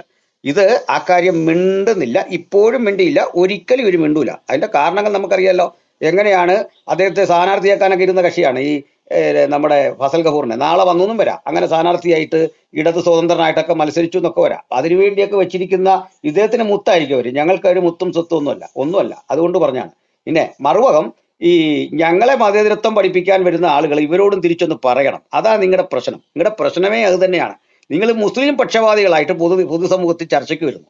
അതാണ് ഈ അന്തം കമ്മികളുടെ ഏറ്റവും വലിയ പ്രശ്നം. മുസ്ലിം പക്ഷവാദികളായിട്ട് മാത്രം നിങ്ങൾ സംസാരിക്കുന്നു. ഇപ്പോൾ എന്താ പറഞ്ഞത്? ഞാൻ വന്നിട്ട് ബ്രൗഷീർ വിൽക്കുന്നു എന്നൊക്കെ പറഞ്ഞു. ഞാനല്ല പറഞ്ഞത്. പാലാ ബിഷപ്പാണ് പറഞ്ഞത്. ആ ബിഷപ്പിനെ ചെന്ന് കണ്ടതാരാ? ആ കാൽക്കൽ ചെന്ന് വീണതാരാ? അവിടെ ചെന്ന് വിനീത വിധേയനായിട്ട് നിന്നത് വി എൻ വാസവനല്ലേ? അപ്പൊ തോന്നിയില്ലേ ഇത്? വി എൻ വാസവനോട് അത് ചെയ്ത് തെറ്റായി പോയി എന്ന് പറയാൻ അന്ന് അ- അതെന്തേ പറ്റാത്തെ? നിങ്ങൾ ഞങ്ങൾ ഇത് പറയുമ്പോഴാണ് ഈ പ്രശ്നം. പാലാ ബിഷപ്പിന്റെ അടുത്ത് പിറ്റേന്ന് തന്നെ ചെന്ന് കൈമുത്തിയതാരാ അതൊരു വി എൻ വാസവനാണ് നമ്മുടെ മന്ത്രി. അതുകൂടെ താങ്കൾ ഓർക്ക്. അത് അത് അത് കാണാതെ നിങ്ങൾ പോയതില്ലാത്ത വല്ല അർത്ഥമുണ്ടോ? അപ്പൊ നമ്മൾ പറയുമ്പോൾ എല്ലാ വഴിക്കും പറയണ്ടേ. പിന്നെ പാർട്ടി മെമ്പർ എന്നുള്ള നിലയിൽ സാറിന് ഇത് പറയാൻ പരിമിതി കാണും. എനിക്ക് അങ്ങനെ പരിമിതി ഇല്ല. ഓക്കെ. പിന്നെയും മറുപടി പറയേണ്ട സാഹചര്യം അയാൾ ഉണ്ടാക്കി വെച്ചു. നിങ്ങൾ മോഡറേറ്റർമാർ പറയും പോലെ ചെയ്യാം. പറഞ്ഞോളൂ താങ്കളുടെ മറുപടി കേൾക്കാനാണ് എല്ലാവരും ഇരിക്കുന്നത്. പറഞ്ഞോളൂ. അതെ ഞാൻ ബി ജെ പി കേരളത്തിൽ അധികാരത്തിൽ വരാത്തത് എന്ത് വരാൻ സാധ്യതയുണ്ടോ എന്നുള്ള ഒരു വിഷയം വെച്ചിട്ട് ഞാനും കൂടി തൊട്ടും വൺ ടു വൺ ആകുന്നതിൽ എത്രയൊരു അസംഗതിയുണ്ട് ഇവിടെ. എനിക്ക് ആ അത് അത് അതൊരു വൃത്തികേടായിട്ടാണ് തോന്നുന്നത്. ആ വൃത്തികേട് ദീർഘിച്ചു കൊണ്ടുപോവുകയാണ് ഇദ്ദേഹം. ഈ പാലാ ബിഷപ്പ് പറഞ്ഞു എന്ന് പറഞ്ഞാൽ പാലാ ബിഷപ്പിന്റെ അടുത്ത് നിന്നോ ആ ചർച്ച? ഈ ക്ലബ് ഹൗസിൽ പാലാ ബിഷപ്പാണോ വന്നിട്ട് ആ വിഷയം അവതരിപ്പിച്ചത്? ഈ ക്ലബ് ഹൗസിൽ അതിനു വേണ്ടിയിട്ട് അതിനു വേണ്ടിയിട്ട് ഘോരഘോരം പ്രസംഗിച്ചതും ഈ സമുദായം ഇങ്ങനെ ചെയ്യുന്നുണ്ട് എന്ന് പ്രചരിപ്പിച്ചതും പാലാ ബിഷപ്പ് വന്നിട്ടാണോ? ഇവിടെ ഞാൻ കേട്ടത് ഇദ്ദേഹത്തിന്റെ നാവിൽ നിന്നാണ്. അദ്ദേഹത്തിനല്ലേ വിമർശിക്കേണ്ടത്? ഞാൻ പാലാ ബിഷപ്പിനെ വിമർശിച്ചിട്ട് കാര്യമുണ്ടോ?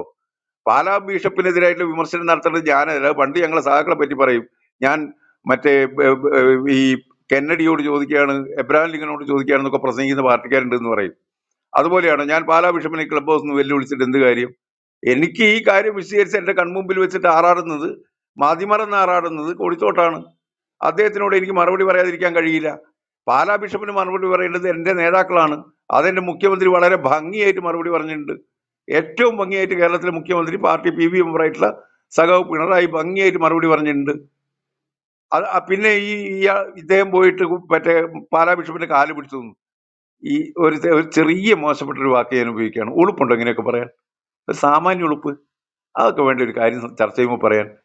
ഏതെങ്കിലും പത്രക്കാർ ഈ വിഭീഷണ വർത്താനം പറയുന്നതിന് താങ്കളെ പോലെയുള്ള ആൾക്കാർ അത് ഉദ്ധരിക്കാൻ വേണ്ടോ? അദ്ദേഹം തന്നെ വിശദീകരിച്ചല്ലോ. പാലാ ബിഷപ്പ് എന്തെങ്കിലും എതിർത്ത് പറഞ്ഞോ? ഞാൻ അദ്ദേഹവുമായിട്ട് ബന്ധപ്പെട്ട് ഒരു ഒരു അദ്ദേഹത്തിൽ ഒരു കൂടിക്കാഴ്ച എനിക്ക് മിസ്സായിരുന്നു. ഞാൻ ആ ആ മിസ്സായ കൂടിക്കാഴ്ചയ്ക്ക് വേണ്ടിയിട്ടാണ് പോയത്. എന്ന് അദ്ദേഹം പറഞ്ഞു. പാലാ ബിഷപ്പ് അങ്ങനെയല്ല എന്റെ കാൽ പിടിക്കാൻ വന്ന വന്നാന്ന് പറഞ്ഞു. കാൽ പിടിച്ച് ഞെങ്ങി രണ്ടു ദിവസം ഞാൻ നീര് പിടിച്ച് കിടന്നു പാലാ ബിഷപ്പ് പറഞ്ഞു. എന്തിനാ ഈ വ്യാഖ്യ വ്യാഖ്യാനങ്ങൾ പിന്നെയും പിന്നെ ആവർത്തിങ്ങനെ നടത്തുന്നത്? ഇതൊക്കെ റെക്കോർഡ് ചെയ്ത സ്റ്റേറ്റ്മെന്റുകളാണ് നിങ്ങളുടേത്. റെക്കോർഡഡ് സ്റ്റേറ്റ്മെന്റ്സ് ആണ് നിങ്ങൾ തലച്ചോറിലുള്ള റെക്കോർഡഡ് സ്റ്റേറ്റ്മെന്റ്സ് അത് നിങ്ങൾ ഇങ്ങനെ എഴുന്നേൽച്ചുകൊണ്ടിരിക്കും. അത് എപ്പോൾ എവിടെ വെച്ച് ആര് തിരുത്തിയാലും നിങ്ങൾ ഇത് പാട്ട് പാടിക്കൊണ്ടേയിരിക്കും. ആ പാട്ടാണ് നിങ്ങളുടെ ഈ പറയുന്ന കൈമുതൽ അത് ആ പാട്ടിൽ ഉൾപ്പെട്ടിട്ടുള്ള ഏതെങ്കിലും ഒരു പ്രസ്താവന ഏതെങ്കിലും ഒരു കാലത്ത് നിങ്ങൾ തിരുത്താൻ തയ്യാറില്ല. ആ പാട്ട് നിങ്ങളുടെ ഉപജീവനാണ്. അത് ജീവിക്കാൻ വേണ്ടി വരുമാനം ഉണ്ടാക്കുന്നു എന്നല്ല ഞാൻ പറയുന്നത്. ആ രീതിയിൽ എടുക്കേണ്ട. നിങ്ങൾ അധ്യാപകനാണെന്ന് ഞാൻ ഇപ്പോഴാണ് മനസ്സിലാക്കിയത്. അധ്യാപക ജോലി കൊണ്ടാണ് ജീവിക്കുന്നതെങ്കിൽ അതാണ് നല്ലത്. അങ്ങനെയാണെങ്കിൽ കുറച്ചും കൂടി ആർജവം കാണിക്കുന്നതാണ് നല്ലത് വിഷയങ്ങളോട്. മാത്രമല്ല അഡ്വക്കേറ്റ് ആകാനുള്ള ശ്രമമുണ്ട്. നിങ്ങളുടെ കോടതിയിൽ ദേവം പേരും കൗണിട്ടുണ്ട് ആ ഓ തീർച്ചയായിട്ടും ഞാൻ സഹായിച്ചു കൊടുക്കും. എനിക്ക് ഇഷ്ടമാണ് പുതിയ വക്കീൽമാരുണ്ടാകുന്നത്. ഓക്കെ. മന്നടി സാർ താങ്കൾക്ക് എന്താണ് പറയാനുള്ളത്? അല്ല ഞാൻ ഈ വിഷയത്തിൽ ഫസ്റ്റ് തന്നെ ശിവദാസൻ വക്കീലിനുള്ള കൗണ്ടർ കൊടുത്തോട്ടം സാർ കൊടുക്കണ കണ്ടപ്പോഴേ തന്നെ എനിക്ക് തോന്നി ഈ വിഷയം ഇവിടെ നിൽക്കില്ലെന്ന് അപ്പൊ ഞാനൊന്ന് ഡൈവേർട്ട് ചെയ്യാൻ വേണ്ടിയിട്ട് തന്ത്രപൂർവം ഒരു ചോദ്യവുമായിട്ട് മുന്നോട്ട് വന്നതാണ്. എന്താണെന്ന് വെച്ചാൽ അത് തികച്ചും ശിവദാസൻ വക്കീലിന്റെ മാനസികാവസ്ഥ എനിക്ക് മനസ്സിലാക്കാൻ കഴിയും. ഇമാജിൻ ചെയ്യാൻ പറ്റും. ഞാൻ തൽക്കാലം വിഷയത്തിലേക്ക് വരികയാണ്. വിഷയം ഈ രീതിയിൽ നിന്ന് വേറൊരു രൂപത്തിലേക്ക് ഒരു ചോദ്യമായിട്ട് തന്നെ കൊടുത്തോട്ടം പാസ്റ്ററോട് ചോദിക്കാൻ ആഗ്രഹിക്കുകയാണ്. അത് ഇത്രയേ ഉള്ളൂ. വളരെ സിമ്പിൾ ആയിട്ടുള്ള ഒരു ചോദ്യമാണ്. ഇപ്പോ പോപ്പുലർ ഫ്രണ്ട് ഓഫ് ഇന്ത്യയെ അഡ്രസ് ചെയ്യാതെ ഇപ്പോഴും ശിവദാസൻ വക്കീൽ വളരെ ഗംഭീരമായിട്ട് ബാക്കി കാര്യങ്ങൾ സംസാരിച്ചു. ഞാൻ ആ വിഷയത്തിൽ നിന്നുകൊണ്ട് കൊടുത്തോട്ട സാറിനോട് ഒരു ചോദ്യം ചോദിക്കാൻ ആഗ്രഹിക്കുകയാണ്. ഇപ്പോൾ ഇന്നത്തെ സി പി ഐ എമ്മിന്റെ കേരളത്തിലെ ജൈത്രയാത്ര. അതിൽ അവരുടെ ഘടകകക്ഷികളായിട്ടുള്ള സി പി ഐ പോലും അന്താളിച്ചു നിന്നുകൊണ്ട് അവർ അതിതീവ്രമായിട്ട് പോപ്പുലർ ഫ്രണ്ട് ഓഫ് ഇന്ത്യയെ ആശ്ലേഷിച്ച് മുന്നോട്ട് പോകുന്നു. അല്ലെങ്കിൽ എസ് ടി പി ഐ പോലെയുള്ള പ്രസ്ഥാനങ്ങളെ ആശ്ലേഷിച്ച് വളരെയധികം ശക്തമത്തായിട്ടുള്ളൊരു കൂട്ടുകക്ഷി മുന്നണി ഭരണം പോലെ മുന്നോട്ട് പോവുകയാണ്. ഈ മുന്നണി അല്ലെങ്കിൽ ഈ പറയുന്ന മുന്നേറ്റം ഒരു പരിധിവരെ പാർട്ടിയുടെ വീക്ക്നെസ് ആണെന്ന് വിലയിരുത്തുന്ന കുറച്ചധികം സഖാക്കൾ നമ്മുടെ കേരളത്തിലുണ്ട്. ഇതൊരു വീക്ക്നെസ് ആണ്. ഇത് തുടർഭരണം അല്ലെങ്കിൽ ബംഗാൾ മോഡലിൽ ഇങ്ങനെ തുടർഭരണത്തിന് വേണ്ടി ഇത്രയും വലിയ വില ഇത്രയും വലിയ ഒരു ആദർശപരമായിട്ടുള്ളൊരു പ്രതിസന്ധി പാർട്ടിക്കുണ്ടാക്കാൻ പാടില്ലാത്തതാണ്. ഇത് തെറ്റാണ് എന്ന് പറയുന്ന തരത്തിലേക്ക് ചോദ്യം ചെയ്യപ്പെടുന്ന കാലഘട്ടം കേരളത്തിൽ സംജാതമായിരിക്കുകയാണ് സി പി ഐ എമ്മിനെ സംബന്ധിച്ചിടത്തോളം. അപ്പൊ ഞാൻ കൊടുത്തോട്ട സാറിനോട് ചോദിക്കാൻ ചോദിക്കുന്ന ആഗ്രഹം എന്താന്ന് വെച്ചാൽ ഇതൊരു പക്ഷേ ഈ പറയുന്ന രീതിയിൽ പ്രത്യേകിച്ച് എനിക്ക് അറിയാം കേരളത്തിലെ സി പി ഐ എമ്മിന്റെ സ്ട്രെങ്ത് എന്താണെന്ന് അറിയാം കൃത്യമായിട്ട് അറിയാം അതിലൊരു പരിധിവരെ ഇന്നും ഹിന്ദു അല്ലെങ്കിൽ ക്രിസ്ത്യൻ വിഭാഗങ്ങൾ ശക്തമായിട്ട് തന്നെ ആ പ്രസ്ഥാനത്തിലുണ്ട്. ബി ജെ പിയിലും ആർ സംഘപരിവാറിനേക്കാളും കൂടുതൽ ഹിന്ദു സമൂഹം ഇന്നും പ്രവർത്തിക്കുന്നത് സി പി ഐ എമ്മിൽ തന്നെയാണ്. അപ്പോൾ സി പി ഐ എമ്മിൽ നേരത്തെ ഞാനത് സ്റ്റാർട്ടിങ്ങിൽ ചെറിയൊരു സൂചന പോലെ പറയുണ്ടായിരുന്നു ഇപ്പോ ആലപ്പുഴയിലെ സമ്മേളനത്തിലെ ആ അരിയും മലരും കുന്തിരിക്കത്തിന്റെ വിഷയത്തിന് ശേഷം യഥാർത്ഥത്തിൽ അത് ആർ എസ് എസിനെതിരെ അല്ല എന്നുള്ള തിരിച്ചറിവ് സഖാക്കൾക്കിടയിൽ സാധാരണക്കാരുടെ ഇടയിൽ വരികയും അതൊന്നും കണ്ടില്ലെന്ന് നടിച്ച് അല്ലെങ്കിൽ പോപ്പുലർ ഫ്രണ്ട് ആയിട്ടുള്ള അഭേദ്യമായിട്ടുള്ള ബന്ധം കണ്ടില്ലെന്ന് നടിച്ച് എത്ര കാലം സി പി ഐ എമ്മിന് കേരളത്തിൽ പ്രവർത്തിക്കാൻ കഴിയും? ഒരു പക്ഷേ ഇന്നിപ്പോൾ ഈ ടൈറ്റിൽ ഇട്ടിരിക്കുന്ന ബി ജെ പിയുടെ അവസ്ഥ നമ്മൾ ചർച്ച ചെയ്യുമ്പോൾ എനിക്ക് തോന്നുന്നു സി പി ഐ എമ്മിന്റെ അവസ്ഥ എത്ര കാലത്തേക്ക് ഉണ്ടാവും? ഒരു കലാപത്തിന്റെ അന്തരീക്ഷത്തിലേക്ക് ഇങ്ങനെ ഉറഞ്ഞു തുള്ളി നിൽക്കുന്ന രണ്ട് വിഭാഗങ്ങൾ തന്നെ എടുത്ത് പറയാം. അങ്ങനെയാണെങ്കിൽ തീർച്ചയായിട്ടും ഇത് സി പി ഐ എമ്മിനും സി പി എമ്മിന്റെ കയ്യിലിരിക്കുന്ന പോലീസിനെ കൊണ്ടും അല്ലെങ്കിൽ അവരുടെ കയ്യിലിരിക്കുന്ന മറ്റെന്തെങ്കിലും സംഘടനാ സ്ട്രെങ്ത് കൊണ്ടും ഇവിടുത്തെ കേരളത്തെ ശാന്തിയിലേക്ക് നയിക്കാൻ കഴിഞ്ഞില്ലെങ്കിൽ ഹിന്ദുക്കളായ ഹിന്ദുക്കൾ എല്ലാവരും ഹിന്ദുവായിട്ടും ക്രിസ്ത്യാനികളായ ക്രിസ്ത്യാനികളെല്ലാം ക്രിസ്ത്യാനികളായിട്ടും മുസ്ലിങ്ങളായ മുസ്ലിങ്ങളെല്ലാം മുസ്ലിങ്ങളായും പോയാൽ ഇവിടെ ഈ പറയുന്ന സി പി ഐ എം എന്ന് പറഞ്ഞ സാധനം വെറും ഒരു ഒരു ഒരു സ്കെൽട്ടൻ മാത്രമായി അല്ലെങ്കിൽ ഒരു ഒരു ഒരു എന്താ പറയാ ഒരു സാധനം എന്താ ഒരു സംഘടന പോലും അല്ലാത്ത രീതിയിൽ അതപ്പതിച്ചു പോകാനുള്ള സാധ്യത എത്ര ശതമാനമുണ്ട് എന്നുള്ളൊരു ചോദ്യം ഞാൻ കൊടുത്തോട്ടം സാറിനോട് ചോദിക്കുകയാണ്. സി പി എം അങ്ങനെ തകരുന്ന ഒരു പാർട്ടിയല്ല. അങ്ങനെ തകരില്ല. അങ്ങനെ പൊളിഞ്ഞൊന്നും ഈ കേരളത്തിൽ അവരുടെ ആ മേധാവിത്വം തകരുമെന്നൊന്നും ഞാൻ കരുതുന്നില്ല. അതിന്റെ കാരണം എന്തെന്നാൽ ഇതൊരു വ്യക്തമായ മുന്നണി സിസ്റ്റം ഇവിടെ ഉണ്ട് രണ്ട് മുന്നണികൾക്കകത്തുകൂടി ഒന്നും അല്ലാതെ ഒരു എം എൽ എ പോലും ഉണ്ടാവുക എളുപ്പമല്ല. വലിയ പാടാണ്. സ്വതന്ത്രന്മാരെ ജയിക്കുന്ന മറ്റു ചില ഘടകങ്ങളിലൊക്കെയാണ്. നമ്മുടെ സുന്ദരൻ നാടാരും അതുപോലെ തന്നെ പി സി ജോർജും ഒക്കെ സ്വതന്ത്രരായി ജയിച്ചിട്ടുണ്ട് കെ കെ നായർ ഇതൊക്കെ മറ്റു ചില ഘടകങ്ങളെ ആശ്രയിച്ച് ഒക്കെയാണ്. അതൊന്നും ഇനി കേരളത്തിൽ അത്ര എളുപ്പമല്ല. കാരണം സി പി എമ്മിന് വ്യക്തമായിട്ട് ജനകീയ അടിത്തറയുള്ള ഒരു പാർട്ടിയാണ് താഴെത്തലം വരെ അവരുടെ പാർട്ടി മെഷീനറി വളരെ ശക്തമാണ്. ജനങ്ങൾ ആ പാർട്ടിയെ കേരളത്തിലെ ഏറ്റവും വലിയൊരു പാർട്ടിയായിട്ട് തിരഞ്ഞെടുത്തിട്ടുള്ള പാർട്ടിയാണ്. ഒപ്പം അത് നമ്മുടെ നാട്ടിൽ നമ്മുടെ അവരുടെ ഡി വൈ എഫ് ഐ ആണെങ്കിലും അവരുടെ സാമൂഹ്യ ഘടകങ്ങൾ പ്രവർത്തനങ്ങളൊക്കെ തന്നെ ജനകീയമാണ്. അതിനെയൊന്നും ചെറുതായിട്ട് കാണാനൊന്നുള്ള യാതൊരു കാഴ്ചപ്പാടും ശരിയായ നിരീക്ഷണമായിട്ട് എനിക്ക് തോന്നുന്നില്ല. അടുത്തത് അവിടെ ഉണ്ടാകാനുള്ള പ്രശ്നം. പിന്നെ സി പി ഐയുടെ കാര്യം പറഞ്ഞു സി പി ഐ ഒരു ഘടകമൊന്നുമല്ല. സി പി ഐക്ക് മുപ്പത് സീറ്റ് കൊടുക്കുന്ന എന്തിനാന്ന് പോലും എനിക്ക് ഇതുവരെ മനസ്സിലായിട്ടില്ല. അപ്പോൾ സി പി ഐക്ക് ഒരു പത്ത് സീറ്റിനുള്ള അർഹത കേരളത്തിലുണ്ടോ എന്ന് തന്നെ സംശയമാണ്. അവർക്ക് ആകെ ശക്തിയുള്ളത് ഇടുക്കിയിലും തൃശ്ശൂരിലെ ചിലയിടങ്ങളിലും ഒക്കെ തന്നെയാണ്. കഷ്ടിച്ചാണ്. അപ്പോൾ അത് തന്നെ സി പി എമ്മിന് താഴെയാണ്. പണ്ട് ഞങ്ങളൊക്കെ ഇടുക്കിക്കാരാണ് പണ്ടത്തെ ഇടുക്കി. അപ്പോൾ ആ മേഖലയൊക്കെ ഉള്ളവരാണ്. അപ്പൊ ഇവിടെ പണ്ട് സി പി ഐ ഭയങ്കര ശക്തിയാണ്. സി എ കുര്യനൊക്കെ ഉള്ള ആ കാലത്ത് സി പി ഐക്ക് താഴെയാണ് C P M. C A ടിന് ഒരു യൂണിറ്റ് പോലും ഇല്ലാത്ത ഇടങ്ങളുണ്ട്. എ ടി യു സി ഭയങ്കര സി പി എം പോലെ പ്രവർത്തിക്കുന്ന ഒരു കാലം ഉണ്ടായിരുന്നു. ഇപ്പൊ തന്നെ വാർഡ് സോപ്പനും ഒക്കെ തിരിച്ചത് കൊണ്ടുവരാൻ ശ്രമിക്കുന്നുണ്ട്. പക്ഷേ അത്ര എളുപ്പമല്ലത്. സി പി എമ്മിന് താഴെയാണ്. മണിയാശാനൊക്കെ നേതൃത്വത്തിൽ വന്ന ശേഷം സി പി എമ്മിന് വളരെ താഴെയുള്ളൂ സി പി ഐക്ക് ശക്തി ഇടുക്കി പോലും. അപ്പൊ അതിനെ മൊത്തത്തിൽ ഇളന്നാൽ മുസ്ലിം ലീഗിന്റെ സ്ട്രെങ്ത് പോലും സത്യത്തിൽ സി പി ഇല്ല. അതുകൊണ്ട് സി പി എമ്മും ആഗ്രഹിക്കുന്ന ഈ മുസ്ലിം ലീഗ് കൂടെ വരാനാണ്. കാരണം സി പി ഒരു ബാധ്യതയാണ്. മുസ്ലിം ലീഗ് വന്ന അവർക്ക് വോട്ട് ബാങ്കുണ്ട്. സി പി എമ്മിന്റെ വിശ്വസ്ത പങ്കാളിയായിട്ട് മുസ്ലിം ലീഗിന് നിൽക്കാനും പറ്റും. ഇപ്പോഴത്തെ ചാരിറ്റി കൂടുതൽ പറ്റും. അതിനാണ് ഈ നമുക്കറിയാലോ ബഹുമാനപ്പെട്ട നമ്മുടെ എൽ ഡി എഫ് കൺവീനർ അധികാരത്തിലേറി ആദ്യം ചെയ്ത പ്രസ്താവന എന്തായിരുന്നു? ലീഗിനെ പച്ചയ്ക്ക് അങ്ങ് സ്വാഗതം ചെയ്യായിരുന്നു. ഒരു പ്രശ്നം. നിങ്ങൾ എവിടെയെങ്കിലും കണ്ടിട്ടുണ്ടോ? ഈ ലീഗിനെ നേരിട്ട് ഏതെങ്കിലും വിദേശ വിധത്തിൽ സി പി എം എതിർത്ത് കണ്ടിട്ടുണ്ടോ? എവിടെങ്കിലും എവിടെങ്കിലും ലീഗിനെ എതിർക്കുന്ന കണ്ടിട്ടുണ്ടോ? ഒരു പ്രസംഗത്തിനപ്പുറത്തേക്ക് എതിർപ്പൊന്നുമില്ല. അവർ ഭയങ്കര ബായി ബായിയാണ് സി പി ഐക്കാൾ അവിടെയാണ് അതിന്റെ കിടപ്പ്. നാളെ ഒരിക്കൽ ഈ അച്യുതാനന്ദനെ പോലൊക്കെ ഉള്ള കുറെ ആൾക്കാരും അച്യുതാനന്ദൻ ഇപ്പൊ തന്നെ രാഷ്ട്രീയ പ്രസക്തിയില്ല. അങ്ങനെയൊക്കെയുള്ള ആളുകളുടെ ഒരു വിടവാങ്ങലോടെ തീർച്ചയായിട്ടും ലീഗ് ഇപ്പുറത്ത് തന്നെ വരാനാണ് സാധ്യത. ഇനി അടുത്ത പറഞ്ഞാൽ സി പി എം നേരിടാവുന്ന ഒരു ഒരു വെല്ലുവിളി എന്ന് പറഞ്ഞാൽ അതിനകത്ത് അസംതൃപ്തരായ ആളുകളുണ്ട്. അസംതൃപ്തർ പറഞ്ഞാൽ ഇമേജുള്ള നേതാക്കന്മാർ. ഇപ്പൊ തന്നെ നമ്മളറിയില്ല കണ്ണൂർ ഏരിയ സെക്രട്ടറിയെ എന്തിനാണ് രാജിവെച്ച് അദ്ദേഹം മാറി നിൽക്കുന്നത്? പി. ജയരാജനെ പോലുള്ള ആളുകളുണ്ട്. ഇങ്ങനെയുള്ള ഇമേജ് ഉള്ള അനവധി ലോക്കൽ നേതാക്കളുണ്ട്. അവർക്ക് പരിധി വിട്ട് വളരാൻ പറ്റില്ല. കാരണം അവിടെ എപ്പോഴും ഈ ലീല ഗ്രൂപ്പിന്റെയോ അല്ലെങ്കിൽ ലുലുമാളിന്റെ ഒക്കെ നോമിനികൾ വരാനാണ് അവർ ഇഷ്ടപ്പെടുന്നത് അത്തരം ചില രീതിയിലേക്ക് പാർട്ടി മാറിയതിലാണ് അമർഷമുള്ള ആളുകളുണ്ട്. പക്ഷെ വേറൊരു കാര്യം കൂടെ കേൾക്കണം. അവരുടെ അമർഷ ഒരിക്കലും ബി ജെ പി കൊണ്ട് അവർ ചെലവഴിക്കാൻ ഇഷ്ടപ്പെടുന്നവരല്ല. അത് അത് റിയാലിറ്റിയാണ്. ഒരിക്കലും സി പി എമ്മുകാരൻ മാറിയിട്ട് അവന്റെ ആ വിപ്ലവ ബോധമൊക്കെ വിട്ടിട്ട് നേരെ ബി ജെ പിയിലേക്ക് വരില്ല. ആ വോട്ട് ബി ജെ പിക്ക് സമാഹരിക്കാനും പറ്റില്ല. അപ്പൊ പിന്നെ ഉണ്ടാകുന്നത് അരാഷ്ട്രീയമാണ്. അരാഷ്ട്രീയ ബോധം കുറെ നാൾ ഇങ്ങനെ കൊണ്ടു നടക്കും. അങ്ങനെയാണ് നമ്മുടെ ഈ ചിന്തകന്മാർ ടി വിയിലൊക്കെ വന്ന് സംസാരിക്കുന്ന പല പുള്ളികളും അതുപോലൊക്കെ തന്നെയാണ്. അപ്പോൾ അവർക്ക് സി പി എം വിടാനും ആഗ്രഹമില്ല. കാരണം അവർ പഠിച്ചു വെച്ച ബോധം അനുസരിച്ച് അത് പ്രയാസമാണ്. സി പി എമ്മിനെ എതിർക്കാതിരിക്കാനും വയ്യ.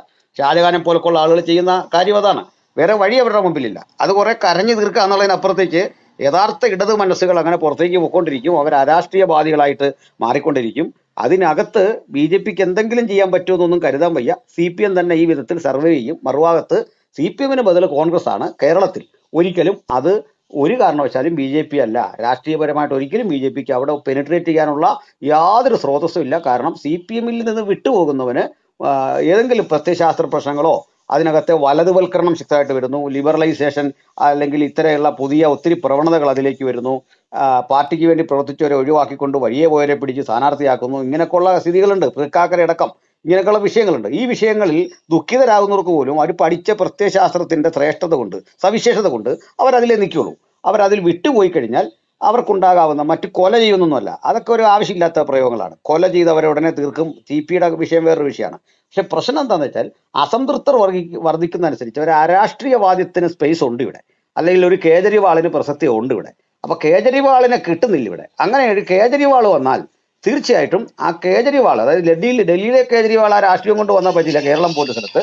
ഒരു പുതിയ കേജരിവാൾ നമ്മുടെ നാട്ടിൽ നിന്ന് ഉരുത്തിരിയുന്ന പക്ഷം അത് മാത്രമേ സി പി എമ്മിന് എന്തെങ്കിലും ഒരു വെല്ലുവിളിയാക്കാനായിട്ട് സാധിക്കൂ എന്നുള്ളതാണ് എന്റെ നിരീക്ഷണം. ബി ജെ പിക്ക് കേരള സി പി എമ്മിനെ നേരിടാനുള്ള മെഷീനറി ഒന്നും കേരള ബി ജെ പിക്ക് ഇല്ല എന്ന് തന്നെയാണ് എന്റെ നിരീക്ഷണം.